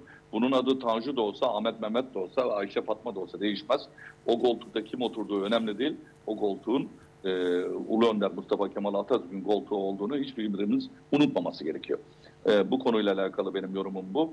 E, diğer e, Ahmet Bey değerli öğretmenimizin, hocamızın e, yorumuna gelince hocam e, ne olur yorumlarınızı daha bir öğretmen kimliğinizde daha şeffaf yapmanızı rica ediyorum. Bakın birisi e, dini e, kullanıp da e, oy e, devrişmeye çalışırken onu e, onu bir bak görüp e, böyle davran e, görüşünüzü bildirdiğinizde hem gazetecilik hem de eğitmenlik e, mesleğinize bence e, doğru bir e, yaklaşımla doğru bir yorum yapmış olmuyorsunuz. Bunu özellikle belirteyim. E, ben siyaseti sadece bu milletin e, ve de vatandaşlarımızın ister AK Partili olsun, ister CHP'li olsun, ister MHP'li veya herhangi bir partide olsun milletin birliği, bütünlüğü ve de e, refahı ve e, önümüzdeki insan hakları ve geleceği için yapan bir kişiyim. Ben doğru neyse onu yaparım. Onun için sizden, sizden de ricam, siz benden büyük birisiniz ve de öğretmensiniz. Benim annem babam da öğretmen. Benim annem hacıdır. Aynı şekilde oğlum bile defalarca umreye giden bir kişidir. Siyaseti insanla Allah arasında e, olan bir e, e, ne diyeyim bir işlevdir. Herkes kendi her koyun kendi bacağından asılır atalarımızın dediği gibi. Ancak cuma namazı sonrası çıkıp da oradan konuşup e, ne diyeyim birilerini eleştirip muhalefet partisi genel başkanını eleştirip e, caminin avlusundan buradan oy devrişmeye e, çalışmak e, işte siya- e, dinden e, nemalanmaktır. Onun için sizlerden daha doğru bir eleştiri yapmanızı veya do- daha doğru yorum yapmanızı rica ediyorum. Evet, Hasan buyurunuz Bey. Ahmet Bey. Ben e, öğretmenlik yaptım. Gurur duyuyorum öğretmenlikte. Ama ben aynı zamanda İslami liderliğim. Aynı zamanda uluslararası ilişkiler mezunuyum. Yani karşımızda sa- sadece e, bir sürü öğretmenlik yapmış biri durmuyor. Söylediğim kelimenin ne anlama geldiğini çok iyi biliyorum. Bu ülkenin mayasında, bu milletin mayası, mayasında her damlasında din var, İslam var. Siz İslam dinini bu ülkenin siyasetinden, bu ülkenin mayasından, bu ülkenin geleneğinden, bu ülkenin töresinden, bu ülkenin örf adetini aldınız mıydı geriye bir şey kalmaz. Dolayısıyla biz siyaset yaparken din kul ile Allah arasındadır. Hayır. Din kulu siyasetin her aşamasındadır. Yer verirsiniz veya yer ver, vermezsiniz. Benimsersiniz veya benim, benimsemezsiniz. İslam dini aynı zamanda siyasetin de hakkaniyete, adalete uygun olmasını, insanların müreffeh olmasını, özgür ol- olmasını, dürüst olmasını, samimi olmasını sağlayan çok ciddi bir unsurdur. Bu milletin de hak mayasıdır, birleştirici unsurudur. Dolayısıyla dini siyasete karıştırmayalım. Hayır, din siyasete de karışmalı. Siyaset de bu anlamda dinden beslenmeli. Yoksa geriye Fransız gibi bir laikçilik kalır. 80 yıl boyunca CHP'nin desteklemiş olduğu laikçilik buydu. Hani militan demokrasi, katı laikçilik diyordum, diyordular ya. O tarz bir siyaset söz konusu olur ki biz 80 yılda başörtüsüyle Evet, Ahmet Bey. Teknik olarak Ahmet Bey sanırım ifadelerini devam edemeyecek. Şimdi e, programımızı kapatıyoruz zaten. Son iki dakikamız kaldı. Ahmet Bey keşke cümlesini tamamlasaydı fakat e, Mustafa Kemal Bey ben size çok teşekkür ediyorum öncelikle. Ağzınıza sağlık efendim. Teşekkür ediyorum konuk Her yayında olduğu gibi beni yalnız bırakmıyorsunuz. Evet, şimdi Özkan Bey sesimi alabiliyorsunuz sizler de galiba. Duyuyorum efendim. Evet, e, Özkan Bey ben sizlere çok teşekkür etmek istiyorum. Ağzınıza sağlık. Çok güzel bir yayın oldu. 3 saat boyunca e, bizimle birlikte oldunuz. Ayrıca çok teşekkür ediyorum ve iyi akşamlar diliyorum. Ahmet Bey tabii cümlesini tamamlayamadı. Sizler de belki bir şey ekleyebilirdiniz ama e, daha sonra diyelim inşallah. Ahmet Bey de buradan ben çok teşekkürlerimi iletiyorum. Yani köy şartlarından bizi kırmadı son dakika bir e, aksaklık oldu Ahmet Bey apar topar e, ağırlamak zorunda kaldık ama ee, herkesin ağzına sağlık dedikten sonra da e, değerli izleyicilerimize de teşekkür etmek istiyorum. Bir BBN gündemin daha sonuna geldik değerli izleyenler. Herkese iyi akşamlar dilerim.